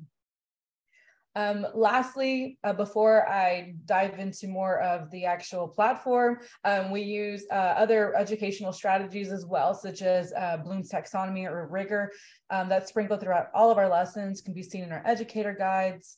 Um, we offer guided notes. So we offer worksheets that go along with each session that have fill in the blanks um, so that students can follow along. Um, in addition to that, we have check for understanding, which is used in our exit tickets. We have knowledge checks at the beginning and end of our lessons to make sure students are grasping the concepts. Um, we use criteria for success as well, um, and then scaffolding, which is especially um, seen in our advertising and appeals activity. Um, and so this is where you can find all of our um, our programs. Our curriculum is on our catch.org platform. You will need to just uh, sign up, create your account for free, um, and then enroll in the CATCH My Breath uh, program. And so this is what it looks like. This is where all of our programs are housed. Um, when you click on the purple tile for uh, CATCH My Breath, that'll take you into our uh, our suite of, um, of resources. Um, and so in the, let's see, the next slide, I believe, um, one of the things that we have are educator guides, and that is fantastically um, helpful for our teachers um, as it provides all of the information that they'll need by session, including materials and prep, uh, key terms, overview, how it aligns to their standards, um, and it's a breakdown for each session. Um, and so we have that available for every uh, one of our lessons and even in our supplemental materials that I'll touch on in a second. Um, so in addition to our educator guide, we also provide, um, in the next slide, you'll see our presentation slides. That's just a little snippet of what it looks like online. Um, you can download in Google Slides or download as a PowerPoint. Um, and either way, you'll get those scripts for every single um, portion of that, which has a good breakdown of an agenda for um, time's sake. And then it has um, everything that you'll need throughout that lesson. it'll show that in the slides as well. Um, the next thing uh, we just want to highlight our student worksheets that are also included in every uh, session. Um, and so those are downloadable. Um, they can be printed um, or just provided digitally to students so that they can follow along through the through the lessons. Um, and then just lastly, I want to touch on, um, we also have pre and post surveys that you can just print off and disseminate to students as, as you wish. Um, and so you can kind of track to see how they're, uh, how they're doing and their uh, changes in, in, knowledge and other outcomes as well. Um, so that's all for students, uh, educators. We're also excited to have parent resources. Um, and so we have, not only do we have like an introductory letter and informational um, uh, flyers and forms. We also are excited um, to share our parent toolkit, um, which is on um, the next slide. Um, and all that is housed in our uh, in our uh, platform. And so, as you can see, we have um, anywhere from the information that goes out to uh, the toolkit, which I'll show you more on in a second. Um, and then we have a presentation that can also be shared with parents and short little videos that go along with the toolkit. So uh, in the next slide, this is just a little bit of a of a um, of a uh, a sneak peek into what our toolkit has. Um, and then the videos that go along with it, we have activities for parents. Um, we don't just want them to know the facts. We want them to also realize that their child is at risk. We want them to feel um, confident in having that conversation with their children. Um, and then we include spaces for them to work through that um, and to, um, to practice having that conversation and then obviously arming them with all the facts that they need to. Um, and so the only part that we charge for in addition to our training, which if you want more information on training, email me. We'll make sure that I share my email with you. We offer video lessons. Um, this is based on demand. Uh, schools were asking for recorded lessons, especially during distance learning and other situations. We offer this at a price as well. And so if you want more information on our video lessons, feel free to also uh, send me an email. Um, the last bit of information I know I'm going to try to wrap up in the next couple minutes eh, are our supplemental materials. These are newer. We've uh, added these in as a result of our partnership with Discovery Ed, uh, DentaQuest. Uh, we offer uh, supplemental lessons, as you can see here. Just to give you a little bit of an idea, in the next slide, um, you'll see that we offer um, the vaping, lung health, and infectious disease component. That's a one-off lesson um, that teachers can go through with their students and makes that connection between vaping and other diseases. Um, that also has the educator guide in the, the notes by slide. Um, and then we have our physical education component, which I mentioned are PE supplements. Um, and that has activities broken out uh, by session, as I mentioned. And so that's something else that we'd like to encourage our, uh, especially our physical educators to use. And then uh, we have a, um, as a result of a partnership, we have our Be free component, which are um, anywhere from videos to self-paced modules that are really great for assigning students to do, or if they're in alternative settings, um, that's also a nice, a nice thing to be able to give students. Um, in addition to STEM and humanities, we also have oral health. Um, and so that's also a one-off lesson that you can use um, in any type of uh, setting um, as well. Um, and so I think that wraps up my part. Uh, that's just more information on how to access the videos. But again, if you have questions and if you'd like to make purchases, um, I'll share my email address with you all. Yeah. yeah, just a couple more. I sorry, Priscila, I changed it a little bit. Yep. Here's just a listing of all the different features that we've made with CATCH My Breath. Uh, and uh, I, I will say, you know, this has been a great collaboration with a whole bunch of different partners. And uh, so I, I, was fortunate enough to have been selected on the Surgeon General report, which came out in 2016 on vaping, uh, as the epidemiologist looking at the harmful effects of e-cigarettes. And so I dug way deep into that. And, and while I was doing that, I thought, well, this is going to be a real problem for schools. I, I saw that because of the flavors that it was going to be attractive to kids. And so I, I wrote the first version of CATCH My Breath um, and then worked with CATCH Global Foundation to make it better. Did a lot of pilot testing back and forth. That's where the study that Priscila mentioned came from uh, here in, in uh, Travis County. Um, and then we were, were fortunate enough that CVS, which made a commitment to remove combustible tobacco products from their pharmacies, uh, found us and, and asked us whether we would like support to, to reach out for e-cigarettes because they, they hadn't thought about that e-cigarettes when they when they removed combustible tobacco. So we had uh, some additional funding to um, increase the production value uh, of the, the program and to, to create all these extra pieces. Uh, and then Discovery gave us a little bit more money to work with Discovery Education. And then it's been a great partnership with them because we are now on their Discovery Education uh, platform. So you can find all these things either on the CATCH Global Foundation platform or on Discovery Education. And they have such a, a, a large reach into schools with Discovery. Um, and so, you know, clear, clearing the air um, was a, a, a, big component. Um, the DentaQuest at the bottom came because we've been working with another project called CATCH, CATCH Healthy Smiles, which is a kindergarten oral health program. Because we're working with dentists, they said, "Well, what about e-cigarettes and oral health?" So we dug into that and said, "Well, yeah, there's a there's a little problem with that too."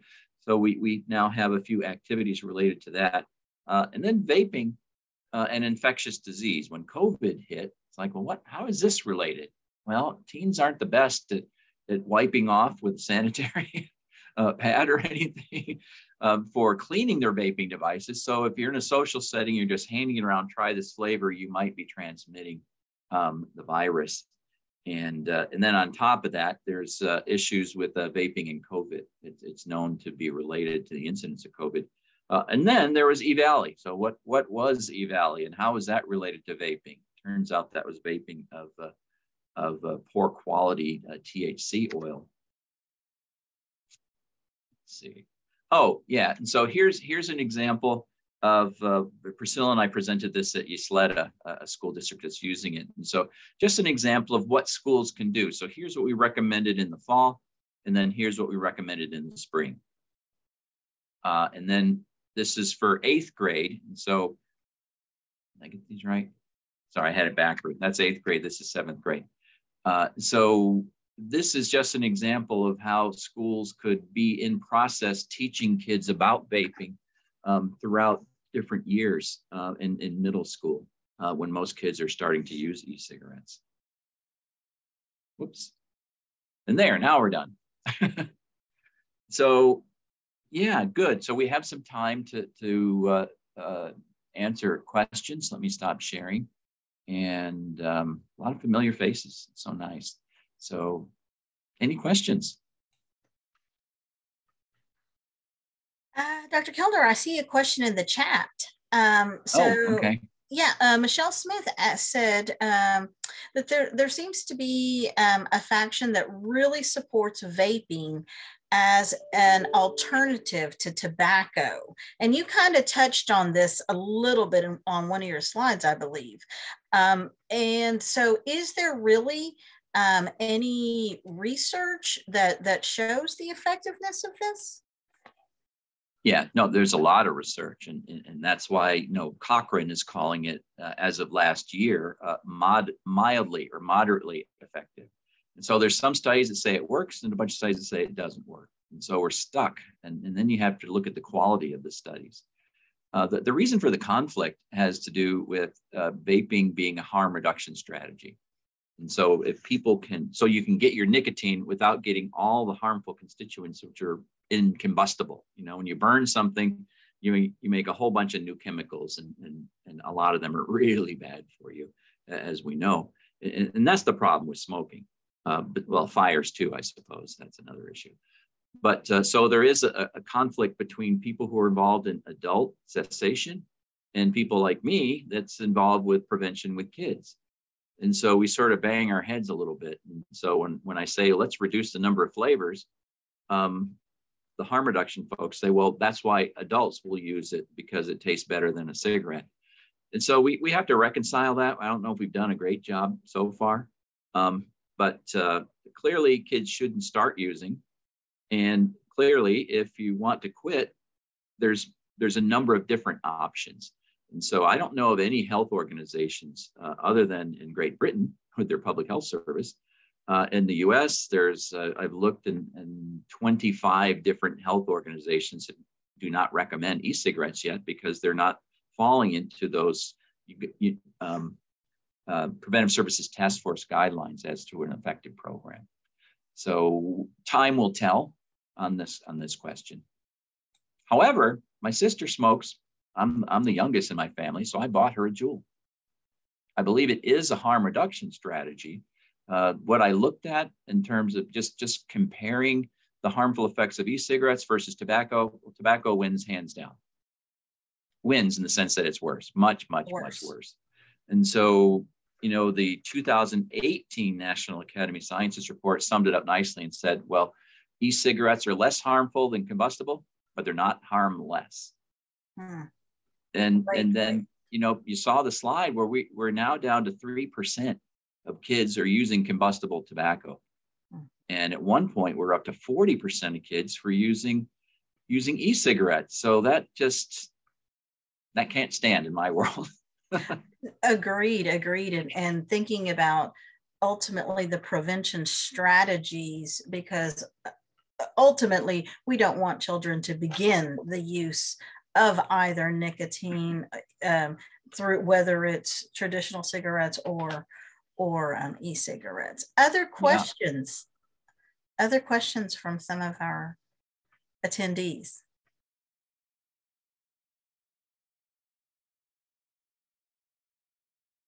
I'm pretty sure karen Burnell has a question. There must yeah. be something wrong with their microphone I think you've answered all of them, Dr. Kelder. that good. good I didn't know you. who else to put on the spot. Maybe maybe Pat Mauser. I haven't seen him talk to you in a long time. Yeah, Trisha. uh, Trisha. That's true. I, I am still here and I am listening though. This is all new to me. And Steve, you can relate to this. I actually graduated high school in 72. So uh-huh. th- think of me as your older sister. but but I do remember the combustible cigarettes um, being the cool thing, unfortunately.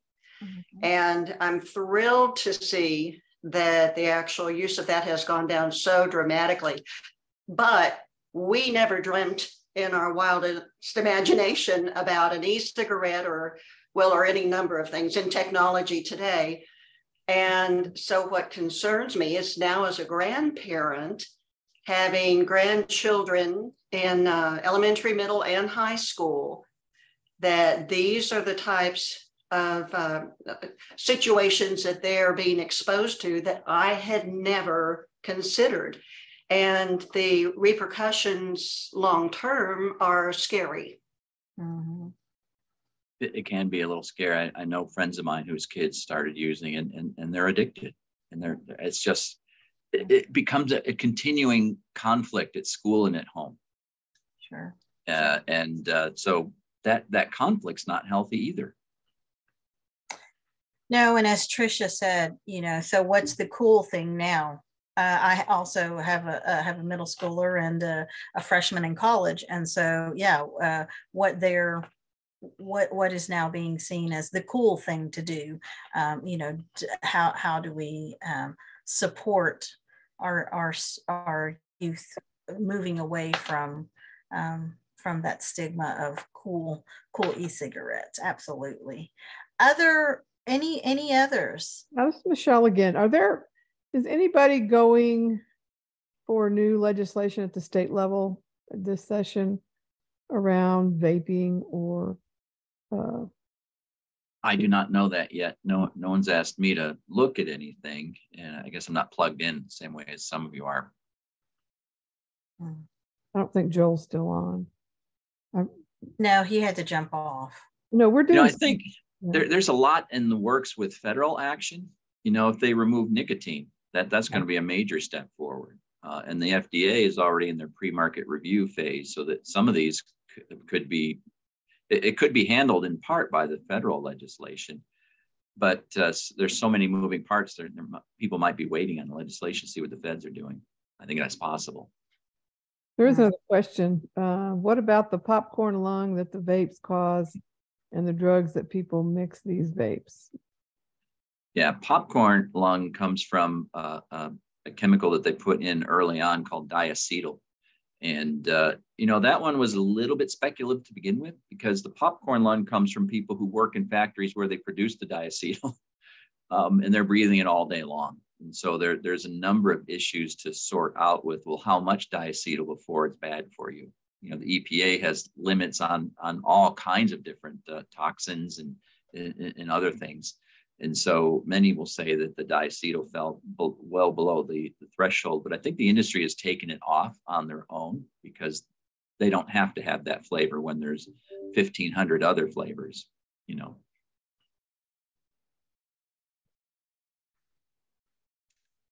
Any other thoughts? We've been working uh, on tobacco prevention efforts in El Paso, and that is coinciding with the THC issues, as particularly there because of their close proximity to New Mexico. And, you know, the number of students who have been arrested for felonies because they were caught with T- vaping THC has gone from like two per year to uh, a huge number. Yeah. Uh, and what are y'all seeing uh, as far as how do we, you know, add that into the mix? I know it's it's a drug versus nicotine, but uh, they're they're both vaping, and it's it's like you know you start with nicotine, and then you go and you get THC, and it's not that big a deal, and the next thing you know, you're a convicted felon. yeah, yeah, it's it's it's really unfortunate. You know, vaping has transformed the the marijuana industry. Vaping and gummies by the way. And so there's just a new report that came out with, uh, you know, preschool kids who are eating gummies and trips to the emergency room. So that that's becoming a that's becoming a real issue too. Mm. But uh, so yeah, this technology exists, and so people are using it, and kids are getting caught. And uh, you know, it's not decriminalized in this state, uh, although it might be someday, but still, I don't think we'll ever decriminalize kids using these substances. So we're, we're going to have this issue and it will continue. Um, we have written a couple uh, vaping less, I'm sorry, uh, marijuana lessons, but I, I, haven't pilot tested them yet. And so it seems like a natural addition. I mean, we, we, we added the oral health because uh, DentaQuest uh, gave us a little cash to, to figure out how to make it just right. And, it, you know, that was two lessons. And we took like three months to make sure we weren't doing things wrong because I didn't know dentistry all that well. So we had dentists on the call and so on. Um, there is a call for for this, Michelle, and uh, uh, I don't know when exactly we'll have a, a good solution, but I'm, I'm working on it. Um, there are some opportunities for grants through the NIH too. So I'm working with a group that's going to probably apply but you know how long it takes to to, to get an NIH grant from beginning to end. We'll mm-hmm. we'll still have five more years of, of kids that are being exposed to it. There's not a great answer, is is what I'm saying. I hate criminalizing kids though for that purpose. Mm-hmm. Yeah, that's the concern. That's I'm not saying they shouldn't have consequences or it should be decriminalized, but uh, you know, there's got to be options. Right for a six versus a 16 year old having a felony on their record. Absolutely. Ah, thank you. Okay. Any other You're questions? Welcome. I was just going to chime in and say that, um, you know, just to reiterate a lot of the stuff in the school districts, you know, SHAC's trying to explore ways to combat this, obviously, in the school districts. And so, very timely, uh, going into our next session with the SHAC discussion, to see, you know, our districts utilizing the CATCH My Breath curriculum because it is free um, and and it is, you know, so you know, research based. So, um, interested to see what some of our panelists um, are doing and if others are using it and bringing it towards their SHACs.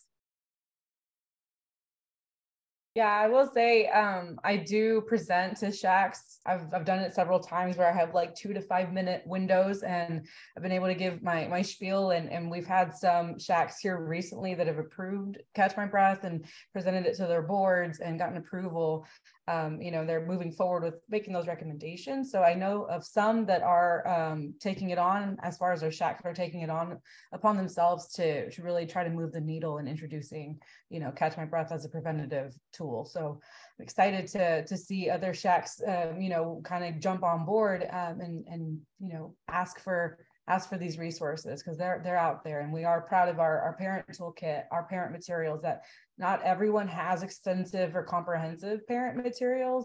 Um, a lot of times it's informational um, but i really like that we've you know dr Kelder's taken that care and extra step in providing uh, those uh, other types of comprehensive uh, components to the parent materials that we do offer so yeah, feel free to explore that as well. It's it's all it's all out there. It's all digital. So um, you know, share what you want with with your SHACs and and you know, if they need other information, I'll leave my chat um, information in the chat as well. I might also add that CATCH My Breath is recognized by CDC as a program, uh, as well as SAMHSA. And so those of you, those of you who are in the substance use field know that uh, a SAMHSA approval is, is kind of a big deal because it, it opens the doors for drug-free schools funding for, for this. Um, anyway, it's, it's been really interesting preparing this and watching the, the, the growth and now the decline of e-cigarettes and where it'll end up. I don't know exactly in a few years with kids, but uh, hopefully we'll, we'll take care of that and we'll figure out whether it's effective with adults as a cessation tool. Perfect.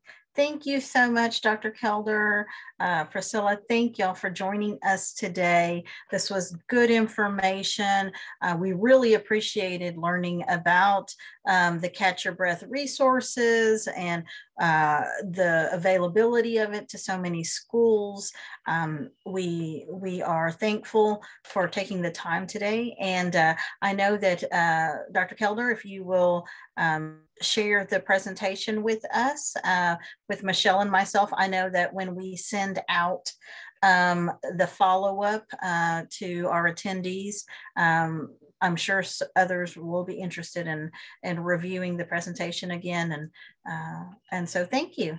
Sure, very happy. Um, I, I, sent it already to Michelle. I don't have your email address. Oh, I've got. I'll get it through Michelle. It's fine. Okay, and, and, and if any of you want to use these slides, I, I feel no ownership over them. Just take them, use them any way you want. Thank you, thank, everyone. Thank you, okay. everyone. Take care. Uh, we have, bye-bye. We have a few minutes uh, in between our next uh, presentation. Um, uh, we are, I think I saw uh, Ileana on already. Oh, there she is. Hi. Um, Ileana, would you like to go ahead and, and um, do our conduct our little break er, first and then give everybody a few minutes to go fill up their uh, water and cup? Or would you like um, us to wait until 1105 no that works. I can just we'll do the brain break and then everybody can have a little you know potty time and then yeah. uh, right before our next presentation and but okay. it's also a break. So perfect. Okay, Ileana, then, then we're going to turn it over to Ileana from um, the CATCH Global Foundation, another one of our partners. Yeah, hi. Um, my name is Ileana Ramirez. Uh, I work as a training and implementation specialist with uh, CATCH Global. Uh, so Priscila is one of my colleagues, and uh, I obviously I believe in health. Uh, so here at CATCH, we love to connect everything that we do um, for our whole child, and that it also includes our physical and our mental health. Um, so with that being said, I know we've been kind of groggy, right? We've been sitting at the computer staring for a while. Um, so when I say go, I would like for everyone to kind of stand in front of their computer, find some space, um, turn on cameras if it's possible, just to really participate. Because our motto here in CATCH is if it ain't fun, it don't get done. Um, so I would love to participate with you all. So if you all could turn on your cameras, get in front, ready, and go.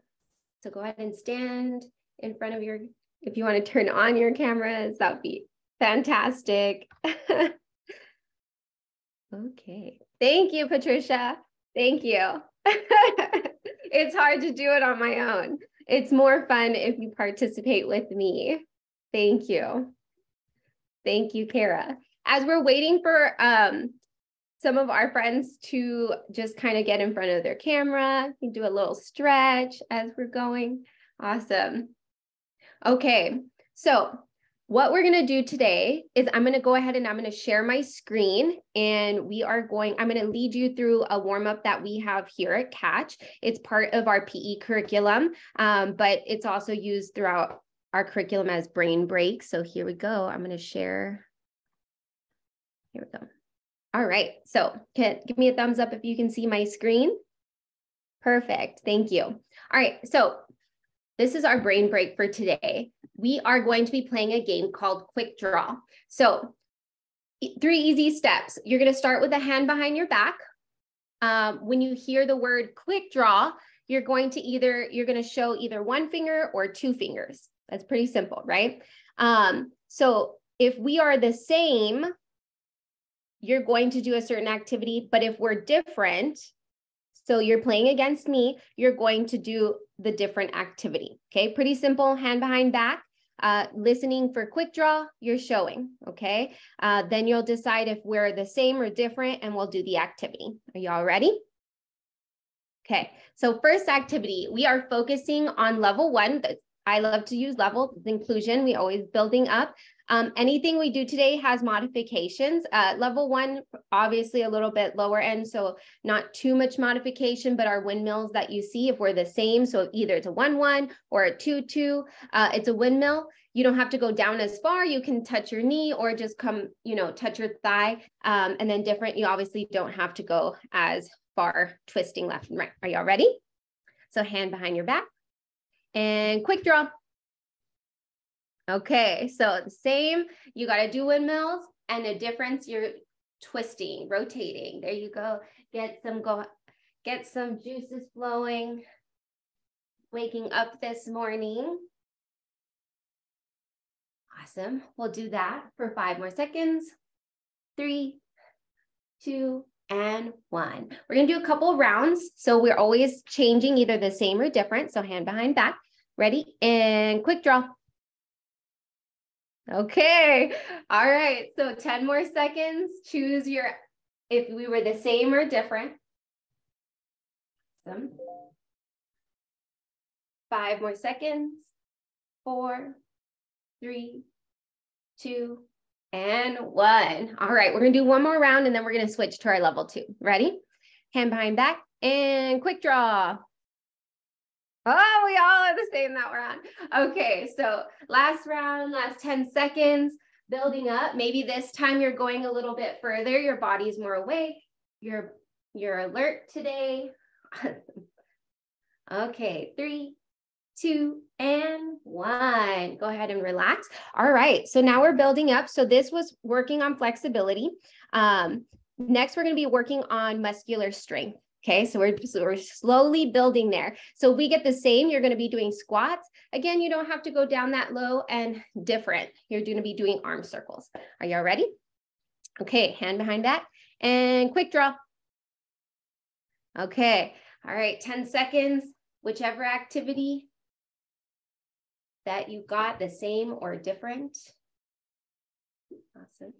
Five more seconds. Three, two, and one. Relax. All right, we're going to do two more rounds of muscular strength and quick draw. Okay, go ahead and choose if we were the same, or I guess you don't choose, but you do the same or different. Okay, awesome. Five more seconds. Three, two, and one. All right, last one in muscular strength and quick draw. Okay. Ooh, we're all the same that round. All right. And go ahead. 10 seconds or 10 squats.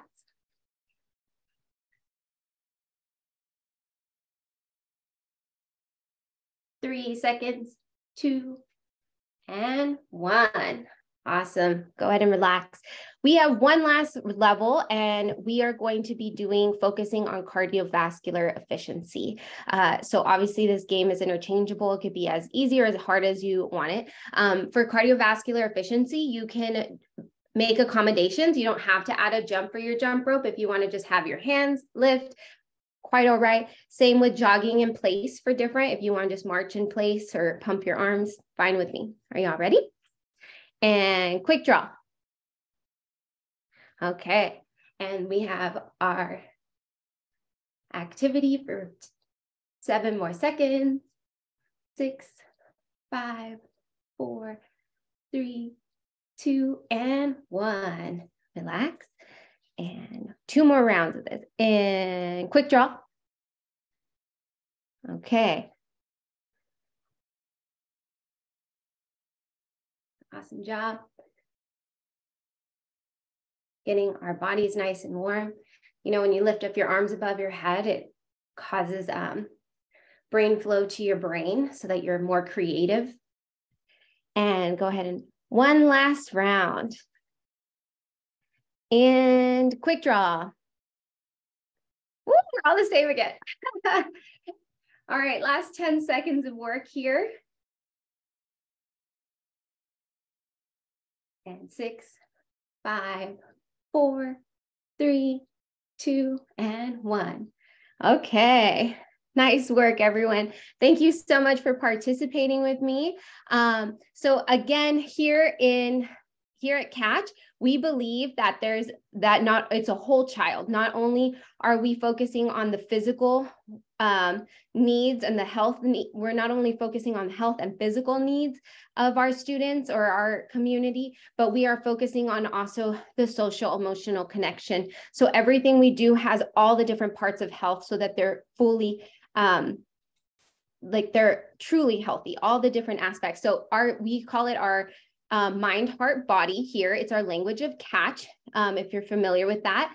Um, so we add in this social emotional connection and we play, I chose quick draw for a reason. We don't know what's coming at us. Were we the same? Were we different? Um, and if, and that's the case, the same thing goes for um, continuing health, right? This is healthy, but now it's not healthy. Oh, tobacco, smoking, um, we're focusing on that, right? Now there's a shift with vaping. We're constantly having to adapt to these things. Um, so, our question for today that I want you to think about is how can we adapt to changing situations? Really thinking about that. Um, so, as you're just really thinking what can we do physically? What can we do uh, educationally? What can we do mentally to adapt to these changing situations? And you're welcome to use the chat. Like how do you and it can be both professionally and in your life. How do you adapt to changing situations right? You're on your way to work and you're like you're stuck in traffic. Uh-oh i'm gonna be late. How can we adapt to that? Or just really thinking um, even with vaping, right? So now we're switching to more of these like Juuls or the kind of uh, electronical devices. How can we adapt to that? So if you want to go ahead and just take a second in your mind, like where are we that with that and how can we adapt to those changes? Um, you're welcome to use the chat. What is one way that you adapt?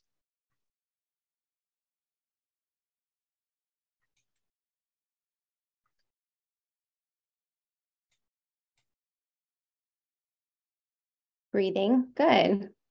I've been trying to do that too. The other day I was like, I had too much coffee and I was everywhere and I had to like take a breath. And all my hands are cold because it was kind of cold too. So I had to, I've heard, so like there's something, if you put something cold on your body, naturally you you'll calm. So like I had to do that myself. So I, I I've been trying to do um, a wellness Wednesday with my kids every week because it's like the one day we don't have to like rush too much after school and go to things. And so I'll just, you know, put, you know, some essential oil things on, like kind of the lavender oil. And just, you know, we do like I'll have them practice breathing. And it it honestly reminds me throughout the week because I've been trying to work with them to do it to like if I'm getting a little stressed or you know like I'm running late and there's like okay just turn the music off in the car let's breathe for a minute so I it truly does help if we can, you know, practice those and, and teach our kiddos to do it as well. So absolutely. I love I love that as a strategy for um yeah, uh breathing and just uh our family likes to to just take a walk together and you know that's how that's how we like to relax so uh, absolutely absolutely uh, Ileana, thank you so much for spending some time with us this morning. It was a great break.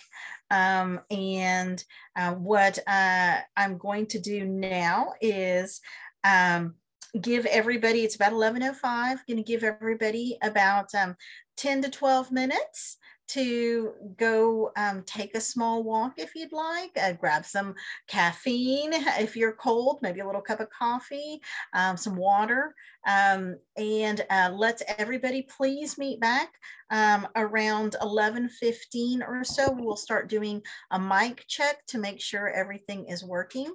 Um, and we, uh, we will kick back off with an amazing panel um, that we have scheduled um, that kind of helps us think about where where are we going moving forward with our school health issues. Thank you, Ileana. Thank you for having me. And I put my email in the chat. Um, I know you had you wanted more information about CATCH. You're welcome to email me. Um, and also, if you go to catch.org, I mean, like uh, in our website, and I'll send the uh-huh. link there too. You're also able to get more information on what is CATCH and our different programs that we have available from our CATCH My Breath all the way to um, PE journeys, health journeys, SEL journeys, everything that we offer, Educators Club. Um, so you're welcome. Perfect. Yeah. So thank yes, you. Please put all please put all that information in our chat box. Absolutely. Yes. Thank you so much. Mm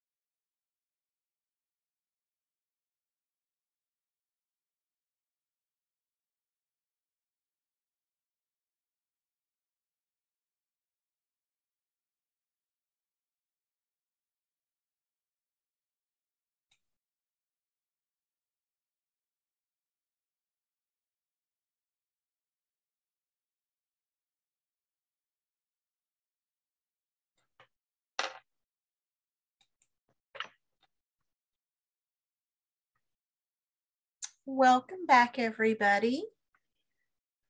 We're going to just do a quick mic check. Can everybody still hear me? Yeah? Perfect. Super. Okay.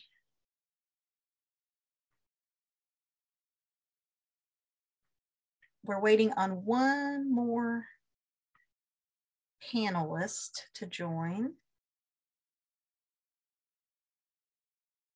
Okay. I, Hey, Karen.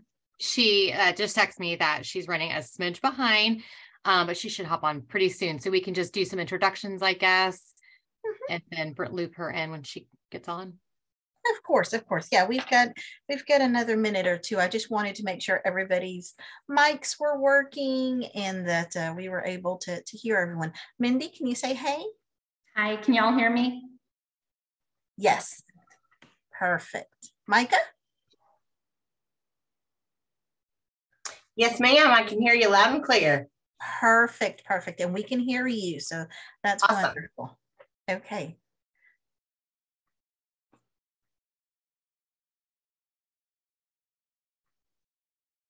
All right. Well, to kick us off, I'll go ahead and um, just express uh, appreciation to all of our panelists um, for joining us today.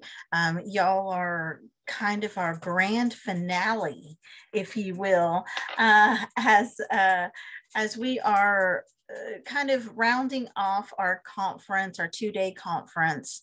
Um, yesterday, we started the day um, with um, a really frank, open, and rich discussion from panelists on, you know, where where things were um, kind of uh, where they saw they, they they brought to the table lots of different perspectives from you know a counselor's view to a nutritionist view to um, you know a school nurse. It was just um, and and a, a physical education coordinators um, sort of views of where schools are.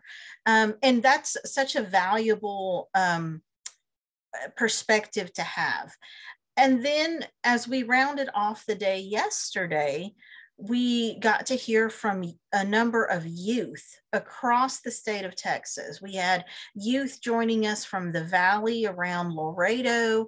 We had those from the more um, Dallas area. We heard from a rural county. We heard from, you know, more of an East Texas voice as well. Um, and I think the value in that again was that we could get their perspective on on where the state and situation was and and get their input on on maybe changes or or how they see their voice matters.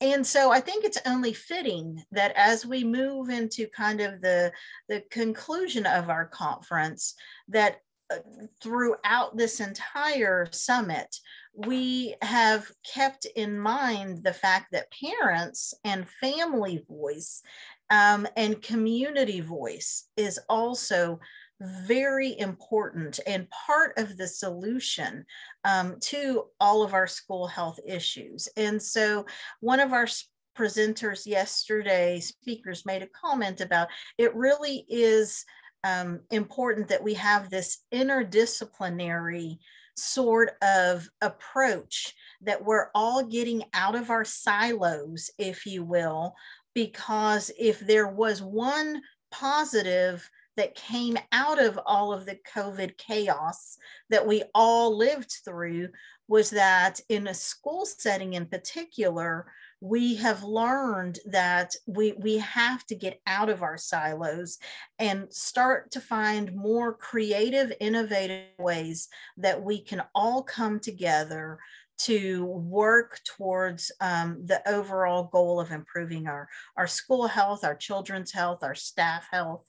And so um, I think that this panel that we have convened this afternoon to kind of close out the conference um, will bring that those different perspectives to light. And so I am honored to be turning over the moderating of our session um, to one of our steering committee uh, members, uh, Ms. Karen Burnell, um, who is our Texas PTA um, director at large and has worked with our healthy lifestyles um, and SHACs um, and it's just a, a, another one of our amazing rock star um, talk steering committee members and so karen i'm going to turn things over to you and i'll let you do some introductions and uh, and kind of move us through our session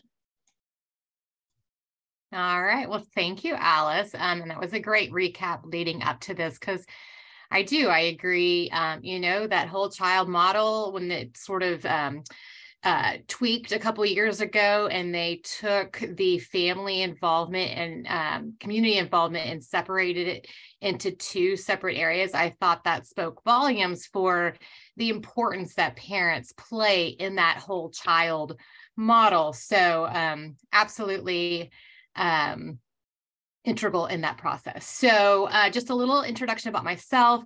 I uh, do represent the Texas PTA. I have been their healthy lifestyle liaison for whew, quite a few years now. They don't have a term limit on that. Um, but I actually came into the Texas PTA because I met somebody who was serving at the time on the board. Um, and my children were not even in school yet. I had a two year old and I was pregnant. She's like, Oh, hey, you might be interested in this.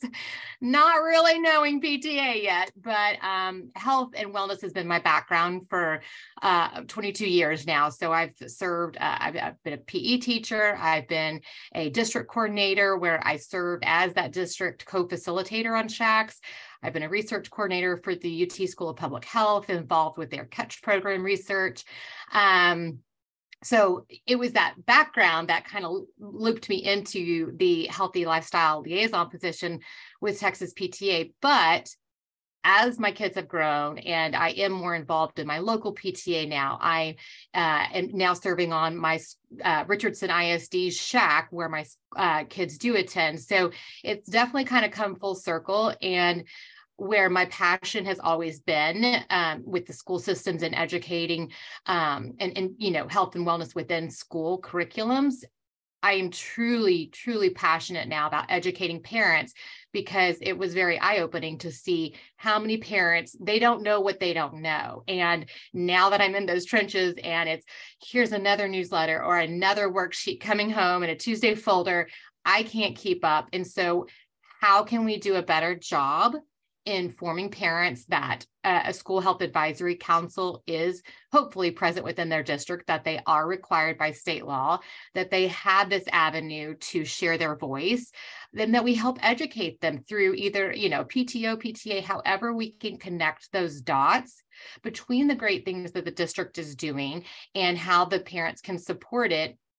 And just to kind of reiterate what Alice said, really kind of seeing that full circle because you know, knowing that I know some of the supply chain issues that child nutrition has faced, people kind of know me as a healthy lifestyle, you know, chick at the school, and they'll ask me, "Well, what can you do about, you know, the um, the the lunches?" And I'm knowledgeable enough to explain to them, like, look, that you know, yes, they're they're not perfect, but XYZ. This is what they've been facing. These are the federal guidelines that they have to follow. This is stricter than the McDonald's, you know, sodium guidelines. So um, I, I, think the more knowledgeable and, and, and groups that we can bring into that, um, we can help then to just, you know, educate other parents. So long-winded explanation, but I am very passionate about parent education now. Um, and we have a wonderful panel today of some SHAC members. So um, I'm going to just briefly introduce them and their district, and then I'm going to let them tell a little bit more about themselves. So we have um, Mindy Petty um, from Georgetown ISD. We have Micah, uh, I hope I'm saying this right, Holcombe, uh, and she is a SHAC member with the Milam County and Texas AgriLife um, Extension Agency. And then I believe she's, like I said, I, she was texting me earlier. Uh, joining us will be Angela Dunford, also a SHAC member from the Frisco ISD. So uh, since we're still waiting on Angela, I'm going to go ahead and look, um, turn it over to Mindy to just tell us a little bit about yourself and your involvement with your SHAC and your district. Sure. Hi, everyone. Um, my name is Mindy Petty. I actually am the chair of our SHAC. Um, this is my first year doing it. My co-chair is Dave Rainey, who is our um, guidance counselor um, director, and he has been a wonderful, wonderful mentor because I would never want to take SHAC on by myself without knowing anything. Um, I've been with the district for going on nine years. Um, I've been a nurse for 22 years. My role in the um, district is coordinator of health services. Um, my background's ICU, ER, and then I came to school nursing, which I never thought I would do, but it has been the most rewarding thing I've done, actually, as funny as that is. I still have kids who see me in the community, they'll be like, Nurse Petty.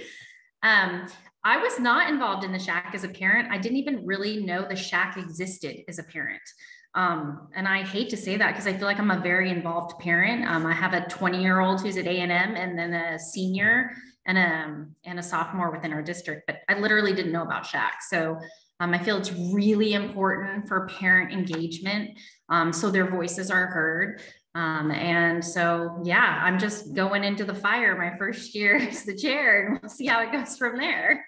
See, but SHACs need more parents like you. Just say, yeah, I'll just get in there and do it. So, uh, but I think that reiterates that I, you know, we there's so many things to keep up with. So, you know, that's just we got to keep going and you know educating, and so that more people do find out about it. So that's awesome. Thank you, Mindy, for sharing. All right, Micah, I'm going to turn it over to you. All righty. Can y'all hear me? Okay, all good.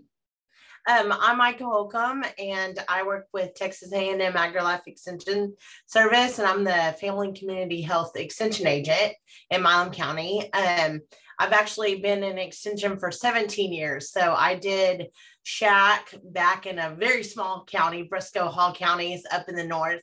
Um, and that's when I first got introduced to SHAC. And then um, I've always loved it. I thought it's wonderful. I love doing um, the thing, uh, SHAC. And then um, when I came here to Milam County um, back in 2014, 15, um, uh, they needed a president and I stepped right in and I've been it since then. Um, I'm also been PTO uh, president for seven years um, on my local PTO and chamber president and all that, all the above. um, but I love Wear all the hats.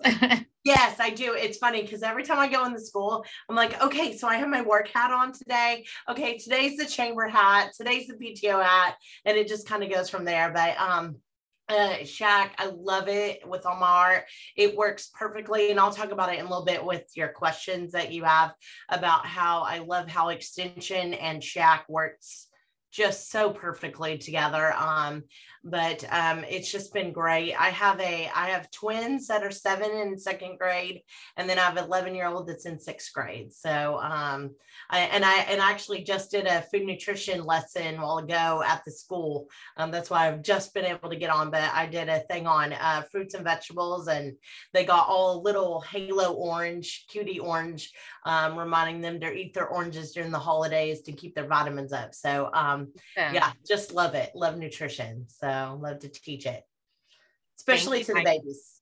Yeah, so they soak it up, right? They, they actually listen. oh, oh yeah, they were so excited. It was so much fun, and and they're the cutest ever because they're like, "I love your earrings. I love your necklace." I'm like, "Oh, I need to come see you more often." I love those compliments. I saw something a while back that it was a kindergarten class that had a dial in number. Like if you just needed to hear some, you know, good thoughts for the day, and it was sort of like a pre recorded, you know, kindergarten leaving you a message voice. I was like, oh, that's brilliant. yes, totally. Totally. Yeah. These were my pre K four kids. So yeah, they were really all about it. Thank that's you for having me. I, uh, I just to piggyback on that, be, you know, speaking with nutrition, we've started sort of a uh, PTA is about to kind of launch it. I've been piling it at my school, but it's uh, just going in once a month, getting parent volunteers. So any PTO, PTA could do it, but um, awarding veggie stickers, I mean, tickets. And so if kids are eating their veggies, they get a little ticket, they get to write their name on the back.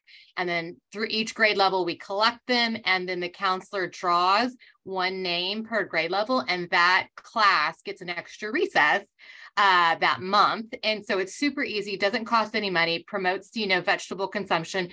And even the sixth graders. So this is where, you know, the little ones are more excited. Sixth graders, oh, come on, eat it, eat that vegetable. It's an extra chance for us to win recess. So um, it was very positive for me to see the, the excitedness in the older kids because you don't normally see that. So, um, but yeah, nutrition's a passion of mine as well. So, um, all right, I see Angela is on. Uh, thank you. She was delayed at a doctor's appointment, so we're very glad that you're able to make it, Angela. And so, if you could go ahead, go ahead and tell us a little bit about yourself.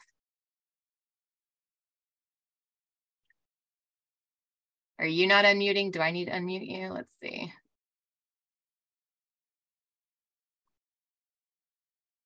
Where did you go? There we go. Sorry. We go. Okay. My phone's being weird. Um, thank you guys, and I apologize for the delay. Uh, yeah, had a doctor's appointment that was going long this morning. So, um, yeah, a little about myself. Uh, Angela Dunford, and I should have put my name in here. Are you guys seeing my name or no? Yep. Okay, good. um, I am with Frisco ISD. Um, so I've done four years on the SHAC. Um, this year I switched to a different committee, but um, I SHAC is like where my heart is. I'll be honest. Um, so I've been able to do a lot there, and also, um, so yeah, my role has been primarily just as a parent, being involved there, and lots of work with the PTA. Uh, Angela, the recess expert. Yes, that's me. Yes, she is. that's my that's my thing.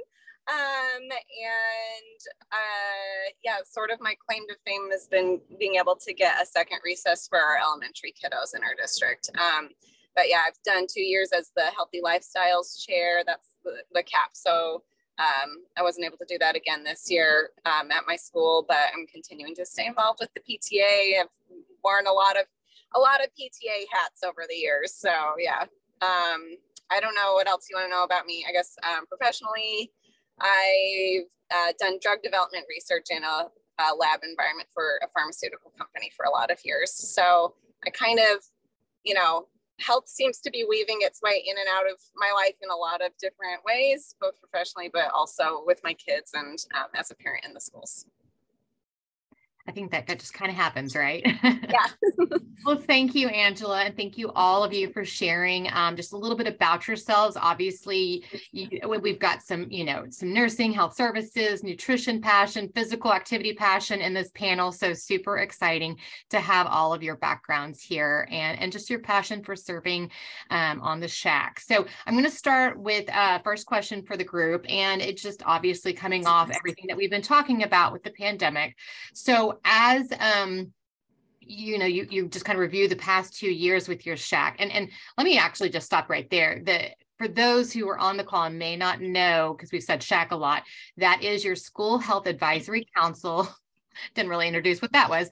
Um, each district should have a SHAC and it should be 50% parents. Um, I say should a lot because, um, you know, districts do find uh, complications in getting that parent involvement. If it's a smaller rural district, they may not really have one. Um, a lot of the times, if you, you know, check on your district's website, it's going to fall either under the health and phys- health and physical activity department, health services department, or child nutrition. Generally, one of those areas serves as that district facilitator or coordinator, and then they have to have a parent co-chair. So again, this is by law that they bring recommendations to the board and that doesn't mean the board has to listen to those recommendations but they have they provide an annual report on pretty thing pretty much all things health related so everything from human growth and sexuality curriculum to uh, recess policies. So um, anything health related does need to be uh, vested through your SHAC. So if they're adopting a new curriculum,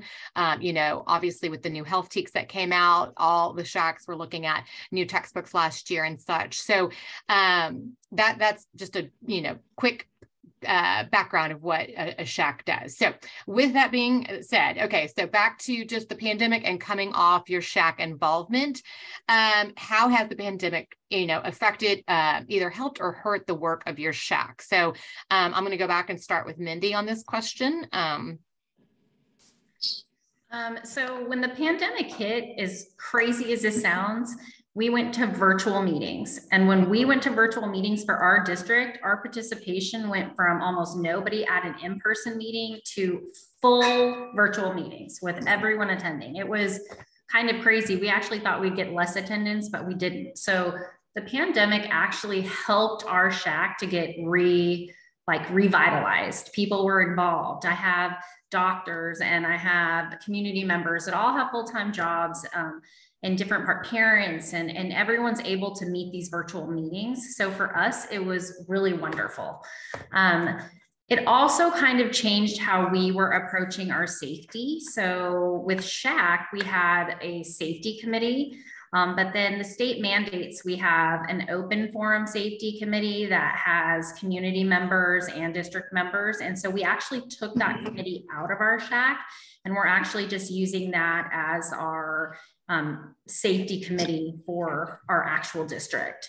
Um, but so far, I mean, I mean, the pandemic really brought to light. It gave a voice to our medical um, subcommittee. You know, there were we were making really difficult decisions that not everyone agreed with. I mean, uh, as you guys know, you all went through the pandemic.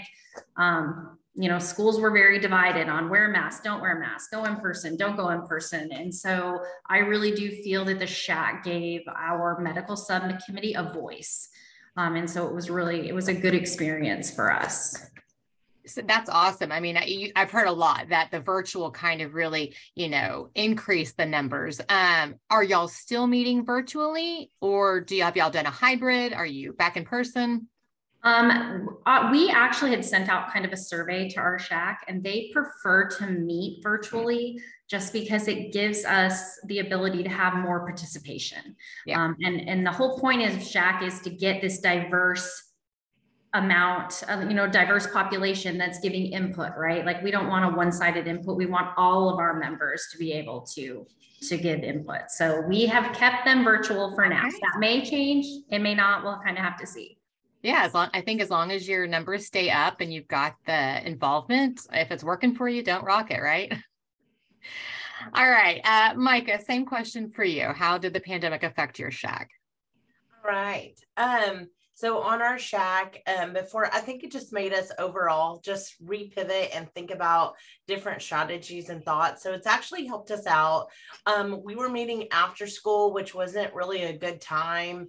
Um, but we decided let's change it up and start meeting at noon. And this was kind of more toward the end when we started being able to and we met at the high school and we actually started adding two high school kids per grade and so we actually have two two students per grade 9 10 11 12 on our SHAC awesome. committee and they come to our meetings we have lunch we meet um, we get to get their insights so like even the other day we talked about you know what we asked the high school kids what vaping where, where do you think the kids need it? What grade do they need it more for vaping curriculum? And so they are able to give us their input which is really great. They help us with programs. Um, also a lot of them have to have community service hours for nhs so it's a great way to get both kind of think smarter not harder. Yeah. Um, another thing real quick on ours that um, we pivoted on and changed up which was really great on our programming. Um, through agrilife extension we provide a program called walk across texas um, I don't know if many of y'all know about some, quite a few may know about it, but um, you get in a team of eight and you walk um, across Texas, 832 miles.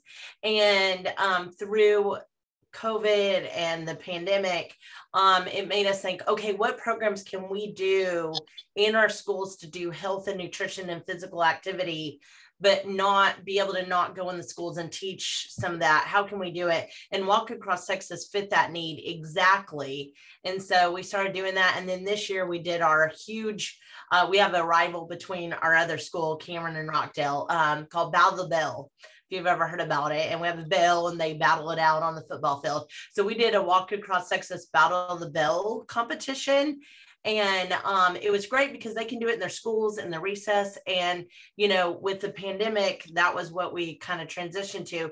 And it gives us an opportunity to really reach everybody in the school district and people know about it. And i even saw a kid the other day at spirit shop for pto still wearing his pedometer. So i was like yes we won there. Um, so it's really been a great opportunity to reach even more from thinking about other ideas since at that time we couldn't go in the schools and teach. We were able to do that and people could, kids could still take part in all of our youth and health programs that way. So i hope that answered your question there. yeah no absolutely. And um, and we still have our meet we now have our meetings completely in person so. In person, okay. Yeah we moved back to in person as well um, but we don't we don't meet on a campus. It's more a, the a central office a satellite building.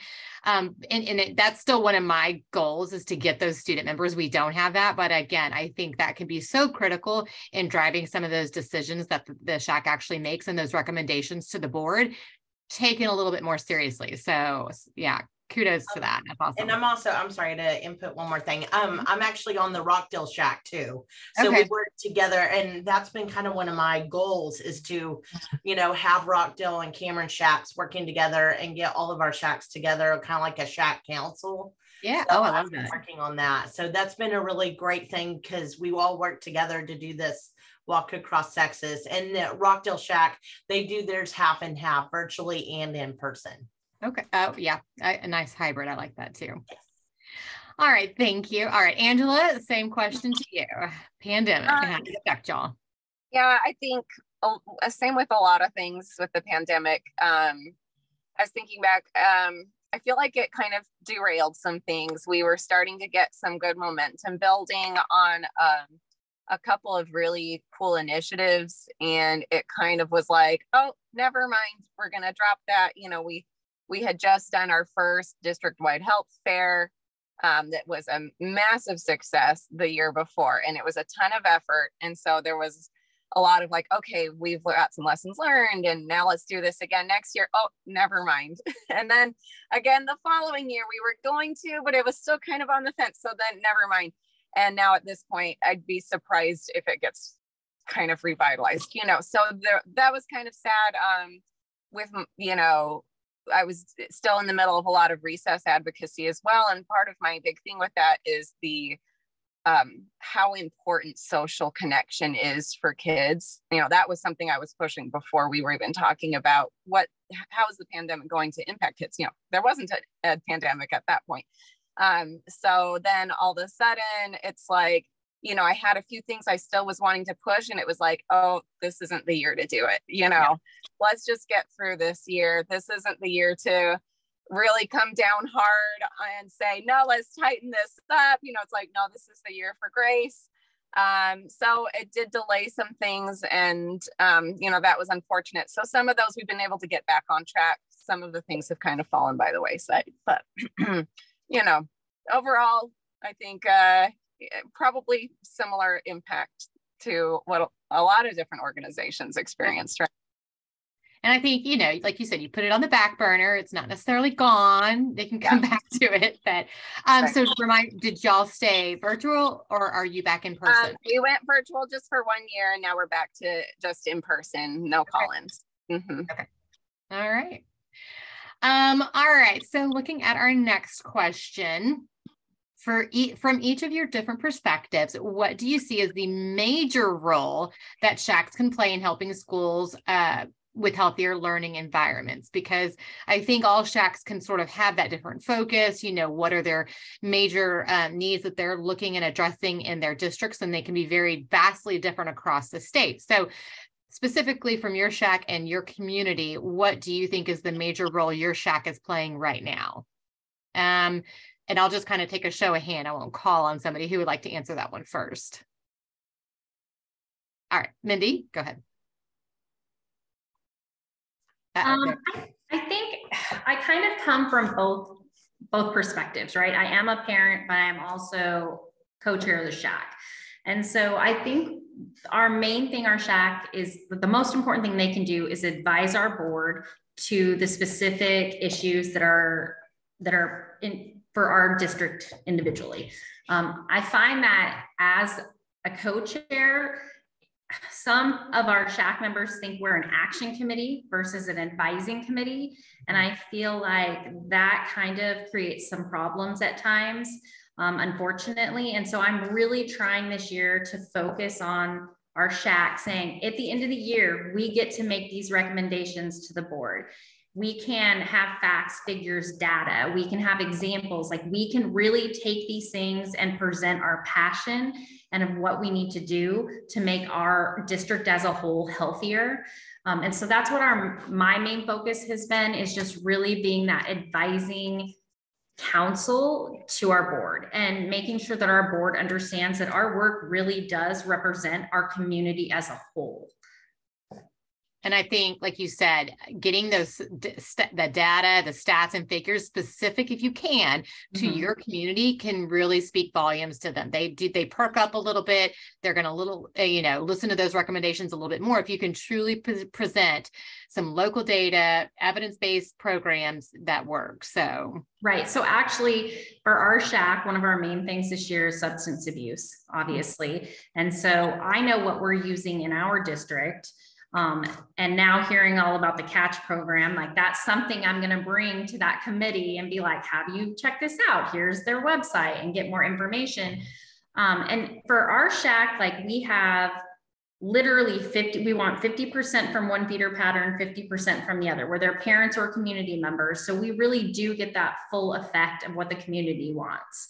Um, and I think that's a really important driving force because as you know, sometimes when you have lower socioeconomic parents they're working they can't participate they're you know and so we really definitely want to open it up to absolutely everyone that can participate so their voices are heard. Awesome. No totally agree. All right micah or angela? I see angela's okay. unmuted. You want to go ahead and okay. yeah sure. Um yeah so i think that um you know, there's a there's a few places that I think our SHAC has had the greatest impact. So that's where I'm gonna kind of take your question. Um, I think um, doing we've come up with a lot of creative little initiatives, like I said, that district health fair or um, just little programs throughout the year where we can say, let's put on this event and educate parents in the community. So that's something where we have a lot of kind of what Mindy is saying, we don't have necessarily a ton of authority to just say, here's what the whole district is going to do. What we do have a lot of ability to just go and act is in creating events. And so that's something that we've been able to do. Um, we did that documentary screening that Karen was a part of that was really awesome. Um, so there's a few different things that we kind of get excited and we put those things on. Um, I would say the other place um, that we that, that I have found to be pretty impactful is in really working that wellness plan. So um, the state requires, in addition to the state requiring every single district in Texas to have a SHAC, um, they also require you to have a wellness policy. And with that, a supporting wellness plan. It's very vague. There's some things that it says it has to have in there, but just you have to have one. Okay, so um, so knowing that we have to have one, wow, well, what can we put in there? You know, is kind of what how I've taken that and that comes up for a refresh every few years. It's supposed to be updated. And I think that it often gets overlooked in a lot of SHACs. Like, oh, we've got this old document. Has anybody ever looked at it? Is anyone ever going to look at it? Do we care about it? Now let's just sign it off and say we read it and move on when really you can use that um, as a very strong positioning to recommend this is how we think our district should operate, even more so than just a verbal recommendation to the board to say, we're going to put all this in our wellness plan and, you know, is it legally binding? No, but um, you know, some of the things that we were able to put in there this last year was um, things like ensuring every child has 20 minutes seated to eat their lunch. so long lunch lines have become an issue, especially during the pandemic, right? Um, where kids sometimes, um, if they only have 10 minutes to sit down, oh, sorry, um, and eat, they're not going to eat their veggies, you know, and they're not going to eat much of their lunch at all, actually. Um, so things like that, um, things like formalizing a little more what we want that second recess to look like and ensuring that it's taken every day and uh, what the minimum requirements are for that, that it needs to be. Kids go outside just like they would for their regular recess. Um, so really, I, there were a lot of things I had worked with our board for a long time to try to just get them to tighten up these really common sense things and just put some wording to it. They were very hesitant to do that. And so then when it was time for the wellness plan to come up, it's like, let's put all this in here and see what happens. and we, you know, and it was voted on unanimously and accepted by the board, you know, so it's like sometimes it just has to go through the right route. Um, and then that gives that document, I think, is helpful because I've had a lot of parents ask me, hey, you know, this is happening with my kids' recess because I'm known for that. Or, you know, this is going on. And I say, ah, we actually have a district document that's on the district website and there's verbiage that's been approved by the board. Show this to your teacher or show this to your principal. A lot of times they just don't know. Right. And then all of a sudden, some of those little issues that really, all, you know, go boil down all the way to the student individual level, those those little issues that can come up, they'll start getting resolved. And that's what I love seeing. So um, that's been a pretty powerful tool, I think. Um, and then also we, since, you know, we originally had one recess per day and they piloted for a while doing a second recess before it was adopted district wide, that pilot initially went through the SHAC as well. So that was another place where our SHAC had an opportunity to have a really important impact was in directing that pilot and analyzing the data, sending out the surveys, and then making that case that we think this is a good thing for all kids. Awesome. Awesome. I think, uh, yeah, uh, just to, you know, um, reiterate a couple things you said, you know, piloting things, piloting programs is always a good way to tiptoe in. Um, yeah. And your events, uh, you know, like you mentioned that, and that's again, you know, I'm, I'm writing down things as y'all are talking too that, because uh, I'm newer to the Richardson um, SHAC versus when I worked with the DISD SHAC and you, you, we don't do events. And I think, yeah, just starting small, a small thing, and you start adding it in and they see value and worth to it other than just making those recommendations. Um, but and just to uh, touch back on the wellness policy, yes, for those of y'all who don't know, uh, it's a triennial review. So every three years it's supposed to be reviewed. And this, like she said, Uh, when I was with DISD, we would have about 60 new principals a year that we were presenting to. And if we could get five minutes on that, you know, agenda at the beginning of the year to try to cover all these things that were health and wellness, they they just don't know. So if it's in that wellness policy, like she said, it's not legally binding, but it's, you know, it's it's a district policy. Look, this is what we're doing. So they honestly may not know that.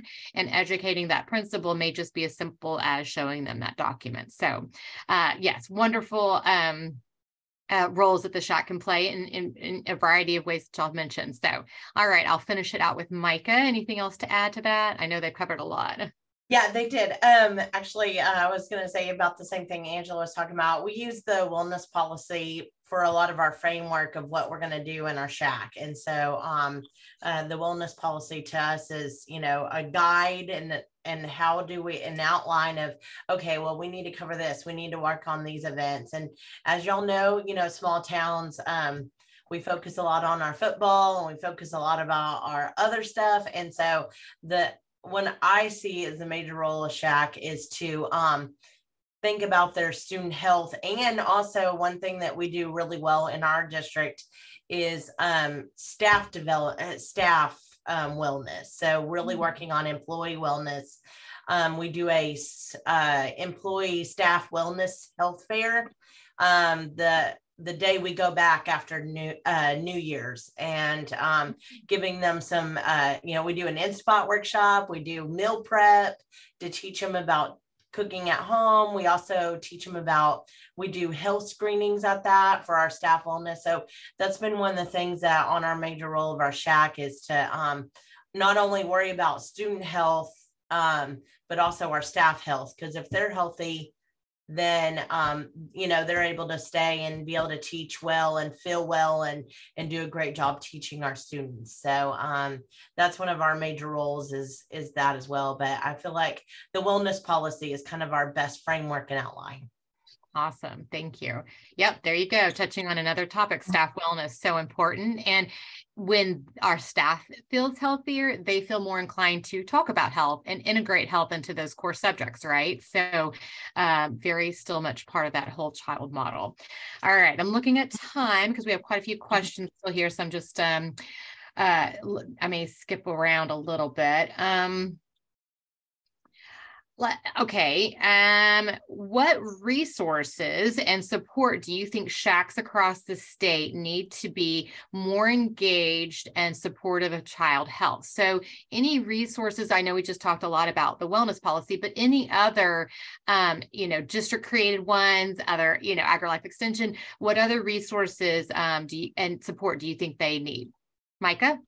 Um, Yes, uh, AgriLife Extension, we have a lot of curriculum. There's county extension agents in every single county of the state, and they're a great resource to bring in because uh, we have all these things that we can get. I'm actually doing presentation to our new agents on Friday on opening your door and putting your foot into ISDs, and I'm talking about SHAC at that. And um, so I feel like AgriLife, we provide so many um, free opportunities, um, free curriculum that we can provide to our schools. We also have a really neat thing I have to tell you about. I'm really excited about, but it's called a Healthy School Recognized Campus. And so you do a checklist of different things that are going on through extension and through your SHAC committees, and you can actually be recognized as a healthy, recognized campus. So um, it's something you can talk to your county extension agent about in your county. And um, it's really neat. They get a nice banner, they get recognized, and it's just, it's so cool. That's something I'm really pushing for our SHACs this year is to be a healthy, um, recognized campus. So, um, and you can do that as an ISD or as an actual smaller campus, um, elementary or whatnot, kind of up to you. But I love it because SHACs can do that. So, um, but yeah, we have so many curriculum opportunities all the way from pre-K all the way up to 12th. And we do like you're saying, substance abuse. We have vaping specialists.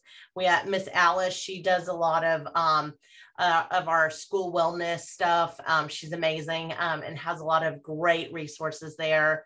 Um, so there's a lot of different um, opportunities and resources that AgriLife can provide. So I, I just love it and it's so exciting. And, and we have a lot of freebies. Yes, you do. um, but yeah, and I'm just going to piggyback on that because uh, Texas PTA, we're actually in in talks. Um, Alice and I have been back and forth. We just you know got to get it finished getting planned. But Texas PTA also launched a series of parent education programs, short video vignettes from content experts that can be led by a parent facilitator to uh, on a you know variety of discussions from vaping to uh, mental health health to human trafficking to uh, VOTEC schools and such. So it's it's again ways to educate parents. And so we've part or we're trying to you know finalize this to partner with AgriLife Extension on again just the making those healthier choices you know how to shop smarter at the grocery store how to shop healthier on a budget um, and giving parents those tools. So again funneling that information through your SHAC like hey here are parent programs that are out there that we can bring in but that every um,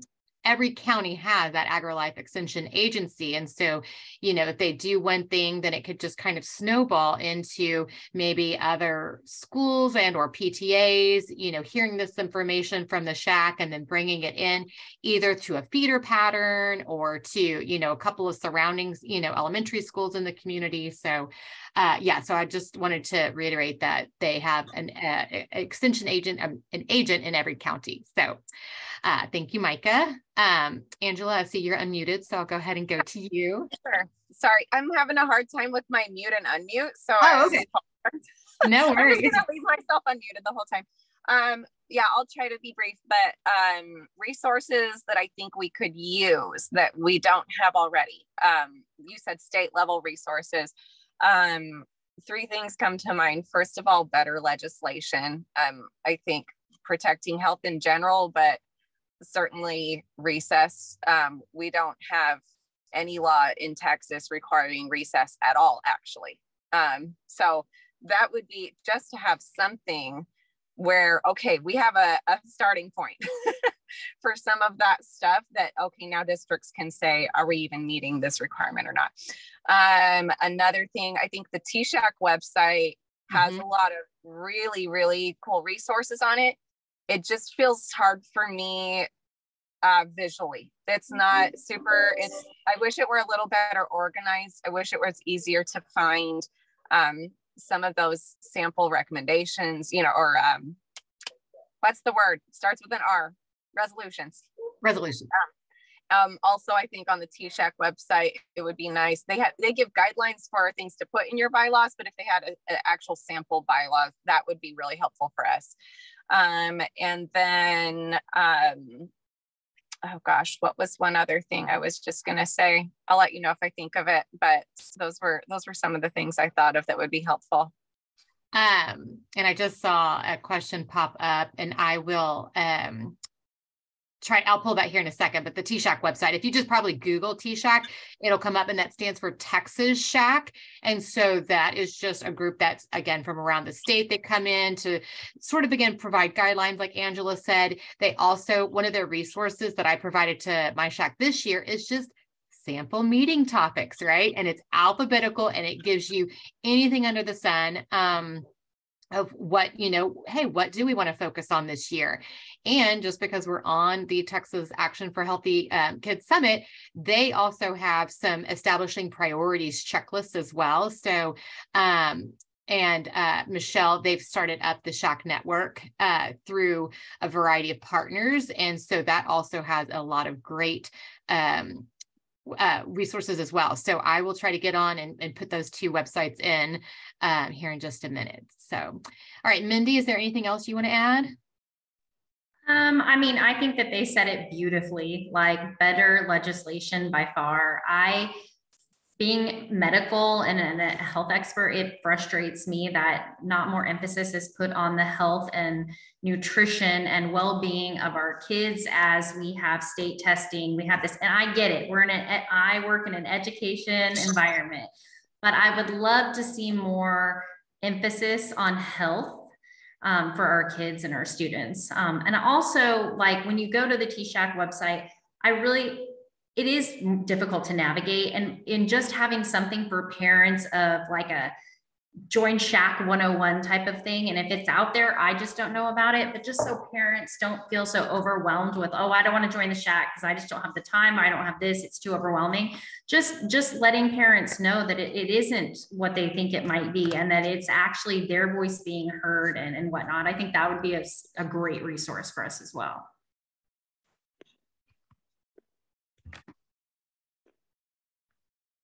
I'm trying to double duty and put and do a couple things in chat as well. Um, but yeah, you know, I know Joel was on earlier and talking about legislative priorities this year, and with you know just getting health back in as a graduation requirement. If your district does not have it because it, they it's not a state requirement anymore, a lot of districts did keep it as a health graduation requirement, but a lot did not. And so that's if you're looking for a priority and your district does not have it as a graduation requirement, I would highly recommend you going that route as a priority because um, in fact, we have it in Richardson. It's a local re- requirement. And one of the things I'm really trying to tiptoeing into is pushing for, you know, that middle school requirement, you know, that again, mm-hmm. having it as an elective is great, but you know, if we could have that as a required middle school course, again, I know it might be a pipe dream, but um, I, I, think they they they need it uh, in middle school, not just for the human growth and sexuality, so many other things, and then they need it again in high school. So taking um, high school health as a incoming seventh grader, I mean incoming eighth grader, like summer of seventh grade, scares me because I, yes, they need that information, but that's a long time that they're going to go without getting it. And some of it's a little above where they are. So I truly am a firm uh, proponent of middle school and high school if we can get it back there. So. Karen, this is Alice. I, I wanted to, I'm glad you jumped in on um, for anybody that joined us a little bit later, uh, uh, late this morning. Um, earlier, we did have Joel Romo uh, from Partnership for Healthy Texas. Um, uh, come on and provide uh, some comments about potential upcoming legislative priorities.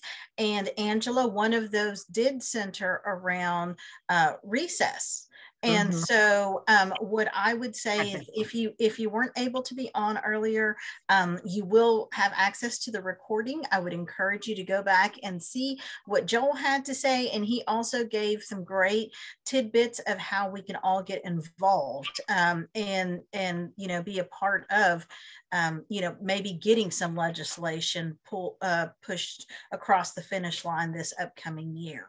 So for certain, you did mention that recess policy that failed a couple years ago. It had yes. bipartisan support. It uh-huh. really very frustrating. yes, you know, 18th year the charm. You know, yeah. Right. Okay, I'm going to turn it back over. Sorry, I just right, didn't, want, to miss that. I didn't want to miss that opportunity to highlight that I think that uh, the conversation is heading in that direction, um, certainly from a number of um, state organizations and partners that are all trying to, to pull some of that together to go before the next legislative session. All right. So now, um, again, let's look at the time. Okay, let's just go. Um, and I, I, feel like this is maybe maybe ending on a little bit negative, but maybe if we can talk mm-hmm. about how we've overcome it as well. Uh, the question is, what are your biggest challenges your SHAC is facing at being effective? So, you know, maybe you've got an example of a challenge that you faced and overcame, um, or just again a challenge that you just can't quite get it across the finish line. What's something that you're still battling? Anybody? I can go ahead and go. Um, You're unmuted. Go ahead and go. all right. Yeah, you know, just, just chat. You know, um, I think um, while some districts struggle to get parent participation on their SHAC, that is not a challenge for us. Actually, we have a ton of parents that want to get involved on committees, so we are super lucky that way. Um, but where we do have a challenge in our SHAC, I feel is just like the I mean, maybe the organization is the way to put it. Um, ours tends to be very heavily district run. Um, and, you know, the way I read the spirit of the law on the SHAC is hey, it's supposed to be more than 50% parent membership. And this is one of the only committees, maybe the only one I know of, that's legally required to have a parent co chair. So you're side by side in equal authority leading the SHAC. Um, we just have not had that, um, at least in execution. Um, even on paper, we had a, a district chair and a co-chair for a long time before I said, uh, I think the law says we're supposed to have a parent running this, you know? So then even once we got a parent, it was still, um, it was still, it was in title only, it felt. And so what I see happening a lot is parents kind of just show up and they don't feel as empowered to take initiative, maybe, and breach those topics that are really important to them. It's kind of like they are told, okay, here's what we are going to do. Here's what you, you know, here's the the framework for what you're going to brainstorm, and even um, the SHAC membership never for never saw even the report that went to the board at the end of the year. And so there were a lot of things i've been trying to clean up to get it to the point where really our parents have that voice to say no this isn't what we want in our report. That's not how we discussed it. Or you're missing a really important thing that we kept bringing up. Why is that not in the report? Um, and to just get it to a point where i feel it's supposed to be it um, because it's more than 50% parent membership, it should be majority parents and so somewhat parent led with district support. And I'd love to see it kind of shift that way. That's where I think having some of the bylaws tightened up and having some of those, like I said, some of those resources to help us with that, I think would be good. Um, but I will say it's just been kind of chipping away at it. You know, you talk about making progress. And so I've kind of, okay, we got to the point where we now have a parent co-chair. Now let's get to the point where that co-chair functions as a co-chair, you know, and just kind of keep pushing and, and getting it to the point where it really is community led and it's a reflection of the community's values in, in what we value for health. Um, one other little um, hiccup I think we continue to encounter is there seems to be a, a, a, a difference in how the district values digital learning versus how parents value it. The district very heavily values it and they are porting us more and more digital, even post pandemic. Whereas parents are saying, let's get away from that. I think that's not as good for mental health, you know. Um, and so that's a challenge we continue to face. And um, I don't know what the answer is there, but we just keep um, trying to bring it up and and see if we can kind of nudge our district to go in a direction that is more reflective of the community's values with that, you know, just more balanced. Awesome. You, so you're meaning like I, iPads still being utilized in the classroom a little too yeah, much? Yeah, right. Or just, you know, especially at the middle and high school level, vast majority of class period being spent on, on yep. the screen. Yeah. Even with a teacher there in the classroom. Right. Yeah. I, yeah. I, th- I think we're facing that as well. Um, uh yeah same with you though I, I think it's that chipping away it was you know members not really seeing the report that went to the, the board, um, you know, n- not re- really knowing it was like the rubber stamping of here's what the district is doing.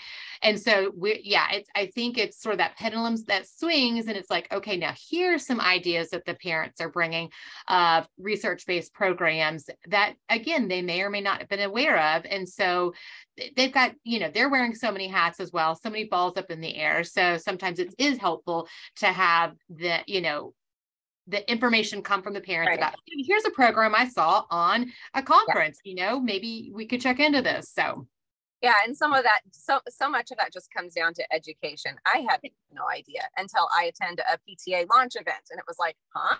Our SHAC is not doing things the way they're supposed to. You know that.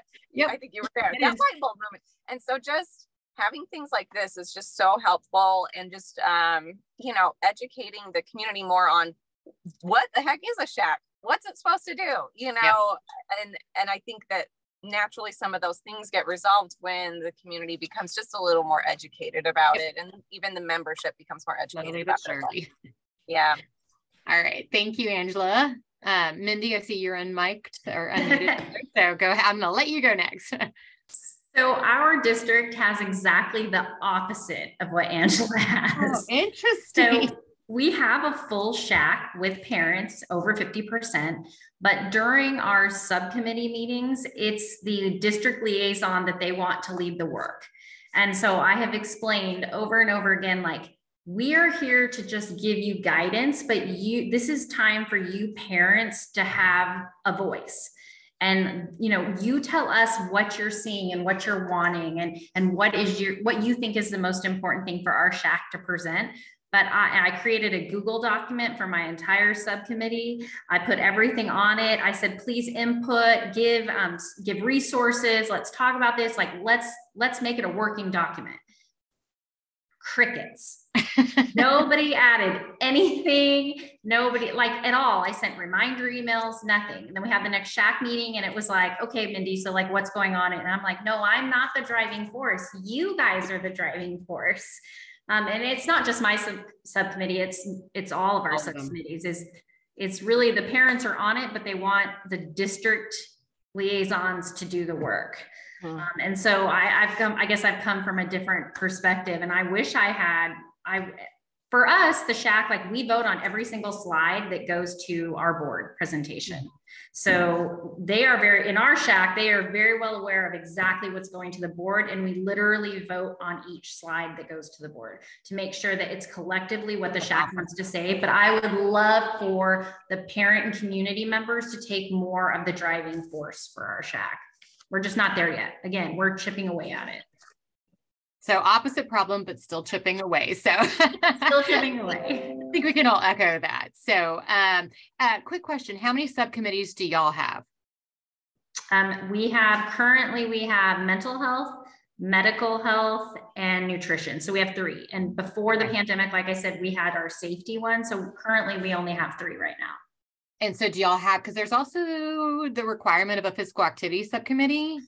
Oh yeah, we have, sorry, yes, we do. We have physical activity, nutrition, mental health, and medical. We have all four. Okay. Well, I was, you know, because again, sometimes we just it slips through the cracks, and so um, I know ours didn't have it until I brought it up, and so we've added physical activity, and then we're, creating one this year that's sort of uh, health and wellness with coordinated school health because our coordinated school health program is no longer uh, approved by TEA, and so looking to review new ones perhaps um, but then also exploring that health recommendation that i mentioned so yeah we're, we're again this is was baby steps for uh, mine as well. And so we're definitely you know just starting with two so i would love to have more. Those were awesome that you have so many. So um, all right. Micah you want to go ahead and bring it home with the biggest challenge yours is facing?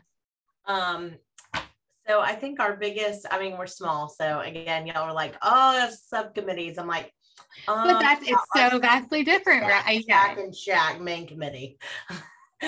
um, we don't really have subcommittees. We're just really glad to be able to meet. Um, but uh, one of our biggest challenge, I think, was when I first got there. Um, first of all, they didn't have a parent co person, so I stepped into that role automatically. So finding someone like that, and then um, also their events that because we're more event based since we're so small. So mm-hmm. we do a lot of our events and then just report to the school board. That's more of how we roll on that. Um, but um, the events that they were creating they were creating all these extra events and doing all this extra work. And when i came in i put the think smarter not harder approach and so we started doing them you know school with school things that were already happening um, and our attendances at our events our buy-in of the community of wellness went just it skyrocketed because we were thinking smarter not harder and not creating a whole nother event on a whole nother day and trying to get people at it. We were thinking oh well if we do a community-wide cookout free hot dogs for everybody. Well, let's do some physical activity games with them, you know. And so thinking ahead and not thinking about like creating and doing that. And our other one, and I know it sounds kind of crazy, but like our other challenge, and I think this kind of you can't really control it, but I think a lot of it has to do with your assistant superintendent on your SHAC committee.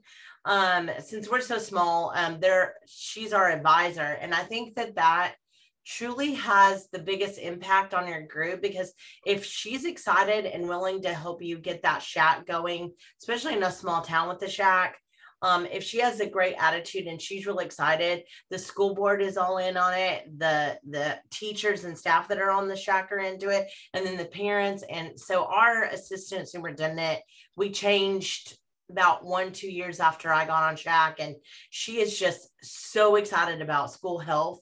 And I think that makes all the difference. So at first, our other one was like, oh, it's a checkbox. Let's check off, check off, check off, and be done. That's over. Um, whereas this one, our assistant superintendent, she is just excited all the time about everything SHAC so that makes a huge difference on all the activities that we get to do because um, she's in it and then i'm excited and it just it's a driving force for our group. So i think getting excitement and buy-in um, from that assistant superintendent and everybody um, just that helps a lot. So hopefully Absolutely. i covered that question Yes. And see, I think you just brought a different perspective because here I am jealous thinking, what? You have an assistant superintendent on your SHAC? Like I have some district leadership, but not anybody that high. So, you know, mm-hmm. I, I, think, but you, the, the, key takeaway I took from yours was that excitement, right? Find somebody with that vested interest, either if it's a school board member or an upper management, upper level um, district personnel, and getting them to somebody who has the passion, understand that connection between healthier students students are going to be more productive learners. And if they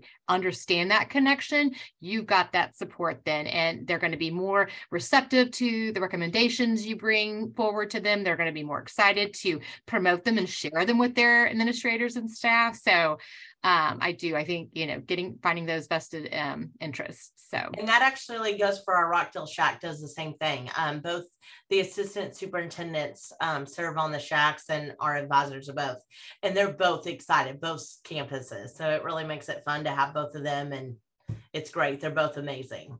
Awesome. Well, okay, I'm glad we ended with the word. The key takeaway there was excitement, right? Um, so I do see that we are nearing the end of our time. Um, I just want to thank all three of you, Mindy, Micah, and Angela. I, I learned so much, and I find this it was just such a you know breadth of diversity between physical activity, nutrition, uh, health services, smaller district, larger district. So um, I hope everybody else that is still on, your one, your troopers for still being on this last session, um, but two, that you had some takeaways as well because I think we y'all kind of covered it all. There's really something for everybody probably that's on this call that could take away a, a, nugget of information that they can go back to their own district with. So thank you very, very much. Um, I'm going to get some of your information so that I can keep following up with you as well throughout the rest of the school year. So um, thank you again. And I'm going to turn it back over to Alice to see if there's anything else that you wanted to follow up on before we close out. Sure. No, thank you so much, panel. Um, and thank you, Karen, for um, uh, uh, leading um, the, the discussion. I, I, do think it was rich um, and some great ideas. Um, I'm sharing a, a, screen. I want to make sure everybody can see my screen. Uh, Karen, can y'all see the wrap up? Yes? Okay, perfect. Yes. Okay, so what we want to do now is um, just quickly, I, I, would love to hear some um, overall comments from um, kind of the day. What were some um, memorable moments? I mean, certainly this panel, but even um, beforehand, earlier on in today's presentations. Um, what are some of the the takeaways that y'all y'all had from either today or even yesterday for some of you that were on and attended both days. I want to I want to catch some of these comments. I want to be able to to pull some of these. Okay, I, I see in the chat that Micah said um, the idea of the the fruit and veggie tickets that uh, and uh, Karen, that's always been one of my favorites as well. Um, that uh, that y'all have uh, that you and the PTA group has been putting together the the stickers idea or the the just recognition for good sound nutrition choices. Um, I think that's always um, and I'll just add, uh, if I can, real quick mm-hmm. recap on that. Uh, this has truly been a process of narrowing it down. And I really think that we've kind of nailed it to where hopefully we can just create a couple of one pagers and share it out as a real simple thing that you can bring if you've got parent volunteers. But um, we started with giving stickers and some of the older kids didn't like stickers right? Um, we started with okay well this month we'll try if they're eating their fruits. And next month was you know maybe white milk over chocolate milk or if they had a water in their um, uh, lunchbox instead of juice. And then uh, it, then it was a parent complained and said, well, I think that if they have anything healthy, they should get a sticker okay, I'm very open minded. Let's try this. Um, and what happens when literally everybody else has something quote unquote healthy and they're uh, on their tray or lunchbox, but this one child had a bag of chips, a bag of cookies, and a juice. And you know, I just, I was like, hey, do you want to go get a glass of water from the water fountain? So, you know, then it was sort of alienating and I didn't want that. And then it just, it kind of the light bulb like, hey, kids eat the least amount of veggies it's the least subjective, it's the least controversial, and it has just been such a positive program on our campus um, this uh, year. So, and, and it's tied to free recess. It doesn't cost anything. So, sorry to go off on a tangent on that, but no, I no, no, but it truly I, I love the fact that and mm-hmm. and getting parents to come up they want to be back in the schools they they enjoy getting to see the kids so mm-hmm. um, yeah super way to increase that parent involvement in nutrition education yeah, and I I have always loved that, especially now, kind of the new added twist on recess because um, look at that, we're we're really promoting, um, you know, eating more fruits and vegetables and um, getting some extra time to be physically active outside. Yeah, um, You really can't go wrong with that. So good point. Anyone else have something? Uh, another nugget from either today or yesterday that they would love to to share I was excited to hear Joel say that they're they're bringing, you know, hopefully still, you know, going to be revisiting the recess policy again, even though it's failed. Um, you know, fingers crossed there. But and, and I know they've got mental health as a top priority, which as it should be. So um, I was very motivated by his uh, legislative update. Alice. Yes, Trisha. I was really impressed with the different levels of information because we had the big picture with legislation and how some of this can be moved forward in the entire state. We have research information that we can pull for legislation as well as takeaways to go back to the individual school districts. And we had some wonderful nuggets for local district strategies. Mm. So I'm I'm really motivated by the fact that we we got to see more of the big picture and we are, are able to take home some data that we can use to mobilize our forces and on the local level. Mm. Excellent point, Trisha. Excellent point. Um, absolutely, it really is. Um, uh, kind of a three pronged approach that uh, hopefully people are walking away with. Um, I also appreciated that um, we had uh, so many fantastic experts who were sharing um, new resources available um, you know some some new free resources whether it was yesterday with TEA talking about the mental health school toolbox or whether it was um, you know CATCH My Breath today and and all the other things in between uh, it it was really fantastic to see that. And and of course I, I am a bit biased but also that community connection and knowing that you have community partners like texas a&m agrilife extension like it's time texas like you know so many other groups that are out uh, texas pta you know where where there are opportunities for all of us to get out of our silos out of our um, uh, specific um, roads and try to find ways to, to partner and all of us pulling in that same direction will hopefully um, have, have the impact that we want to see. Um, so thank you to everybody who joined. So here is what I would like everyone to do, if you can, please. Um, complete our summit evaluation. And here is the, the QR code um, or the link. Um, it's really important. And I, I kind of started today um, a little bit with a recap and, and I had mentioned to, to everyone, we really do value your input. This is very important for us as a steering committee. Um, we had showcased that we, we make up a number of organizations across the state um, and our membership, Texas Action for Healthy Kids membership, has actually topped 10,000 members this year. And so it's, we want to know what are your thoughts about the conference, um, about um, the, uh, let me see if I can, oh, sorry.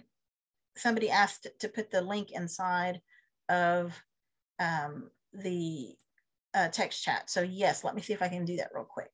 Um, the um, so we we value your uh, thoughts and opinions, and we want everyone to to please um, you know let us know um, other issues that we should be um, looking into and that that um, we we want to try to cover if not uh, with another summit with uh, our monthly webinars that we host.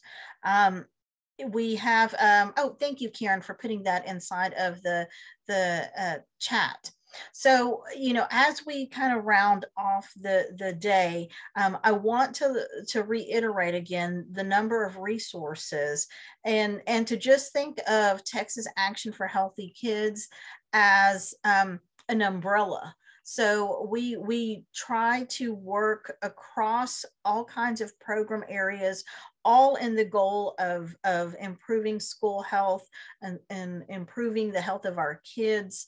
Um, and so here is um, uh, a couple of the resources where you can certainly uh, come and see some of our past webinars. Um, also note that you will be receiving an email in the next couple of days that will have you know information to where you can see this recording as well as uh, access to any of the presentations by any of our experts who were attending yesterday and today.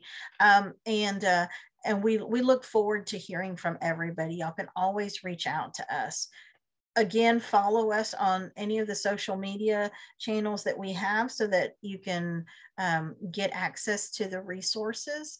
Um, and I, I'm just going to pause and see if anybody has any other questions or comments. Okay. If not, um, thank y'all so much for attending today. And um, we look forward to seeing y'all again uh, on another one of our events. Um, here is the contact information for Mrs. Michelle Smith, who is our, our state coordinator and our senior field manager.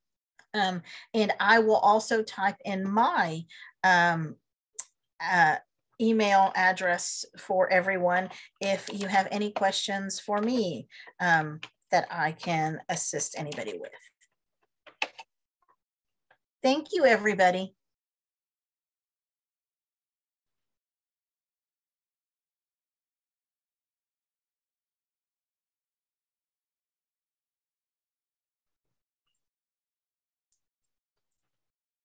Thank you, Alice. You have a good rest of your week. Thanks. Bye-bye.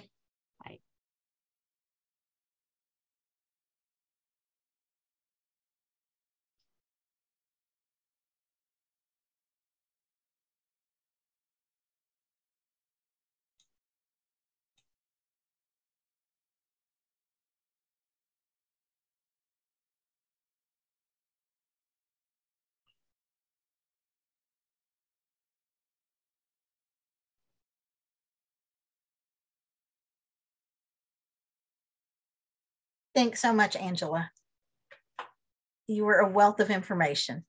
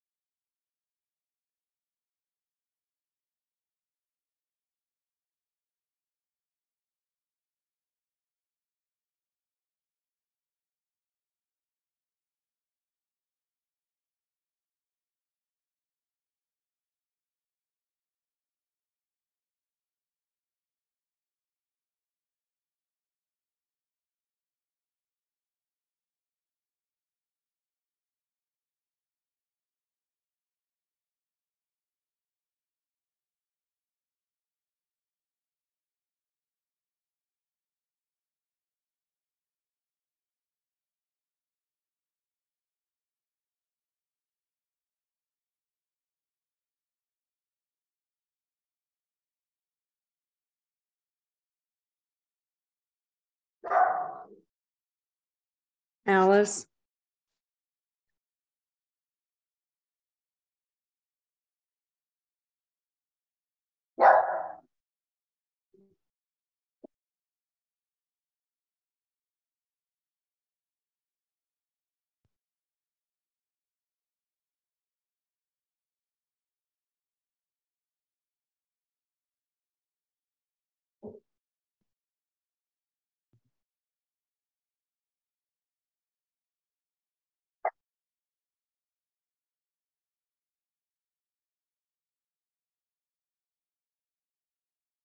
Alice, can you hear me? Yes, ma'am. Okay. Um, I, I guess I'm just going to go ahead and leave. And um, I tried making to see if I could even stop the recording. I looked at it a couple of different ways and could not get the opportunity. I think that has to be done with Michelle's computer since she was the one who started it. Yeah, well, she said just leave it on. Um, Okay. I was able to put one in the waiting room and he's waiting, so I think we'll just X that out. Okay, I, yeah, I wasn't able to get anybody in a, a waiting room. I don't know why, or it didn't give me that option on my, at least not that I could see. Well, Um, it gave it to me before, now it isn't, so, yeah, I think I'm just gonna go ahead and leave now, but I thought it was another great day. Lots of good information as usual. Yeah, yeah. Um, hopefully, um, so did you, um, did Michelle send you an email or, or maybe it was a text, um, about our, um, debrief meeting? she said something about rescheduling it. I told her that Friday was not good for me because it's Hadley's grandparent day. Hmm. And they start out with a nine o'clock mass, so I, I'd miss the whole thing. Well, I, I think it, you. yeah it seemed like it was conflicting with a lot of people um that's also like right before the thanksgiving break some school Right. some schools are doing you know uh, programs and so forth so um the last that i recall and, and the only reason i bring it up is because i wondered if you wouldn't mind sending out an email to everyone um just uh telling them that uh our debr our talk summit debrief meeting um, has been postponed and we will just um, have a discussion about the summit. You know, people can write down thoughts or comments if they have any right now, but um, we'll just have it as a part. Yeah, as a part of our next monthly um, uh, meeting is what Michelle and I had talked about. We said, well, Okay, maybe we just we just put that on the agenda and we'll spend the first 10 or 15 minutes and do a recap that way. Okay, I'll, yeah, I'll be, I'll do that right now. Okay. Thank you. Okay, well, you Thanks, have a good weekend. I hope your mom's better and your trees get cut down and Jeez, and poor Yeah. Michelle. I Uh, know. No. Okay, well, Thank have a happy Thanksgiving. You too, if we don't talk before then. Okay, thank you. Bye-bye. Bye.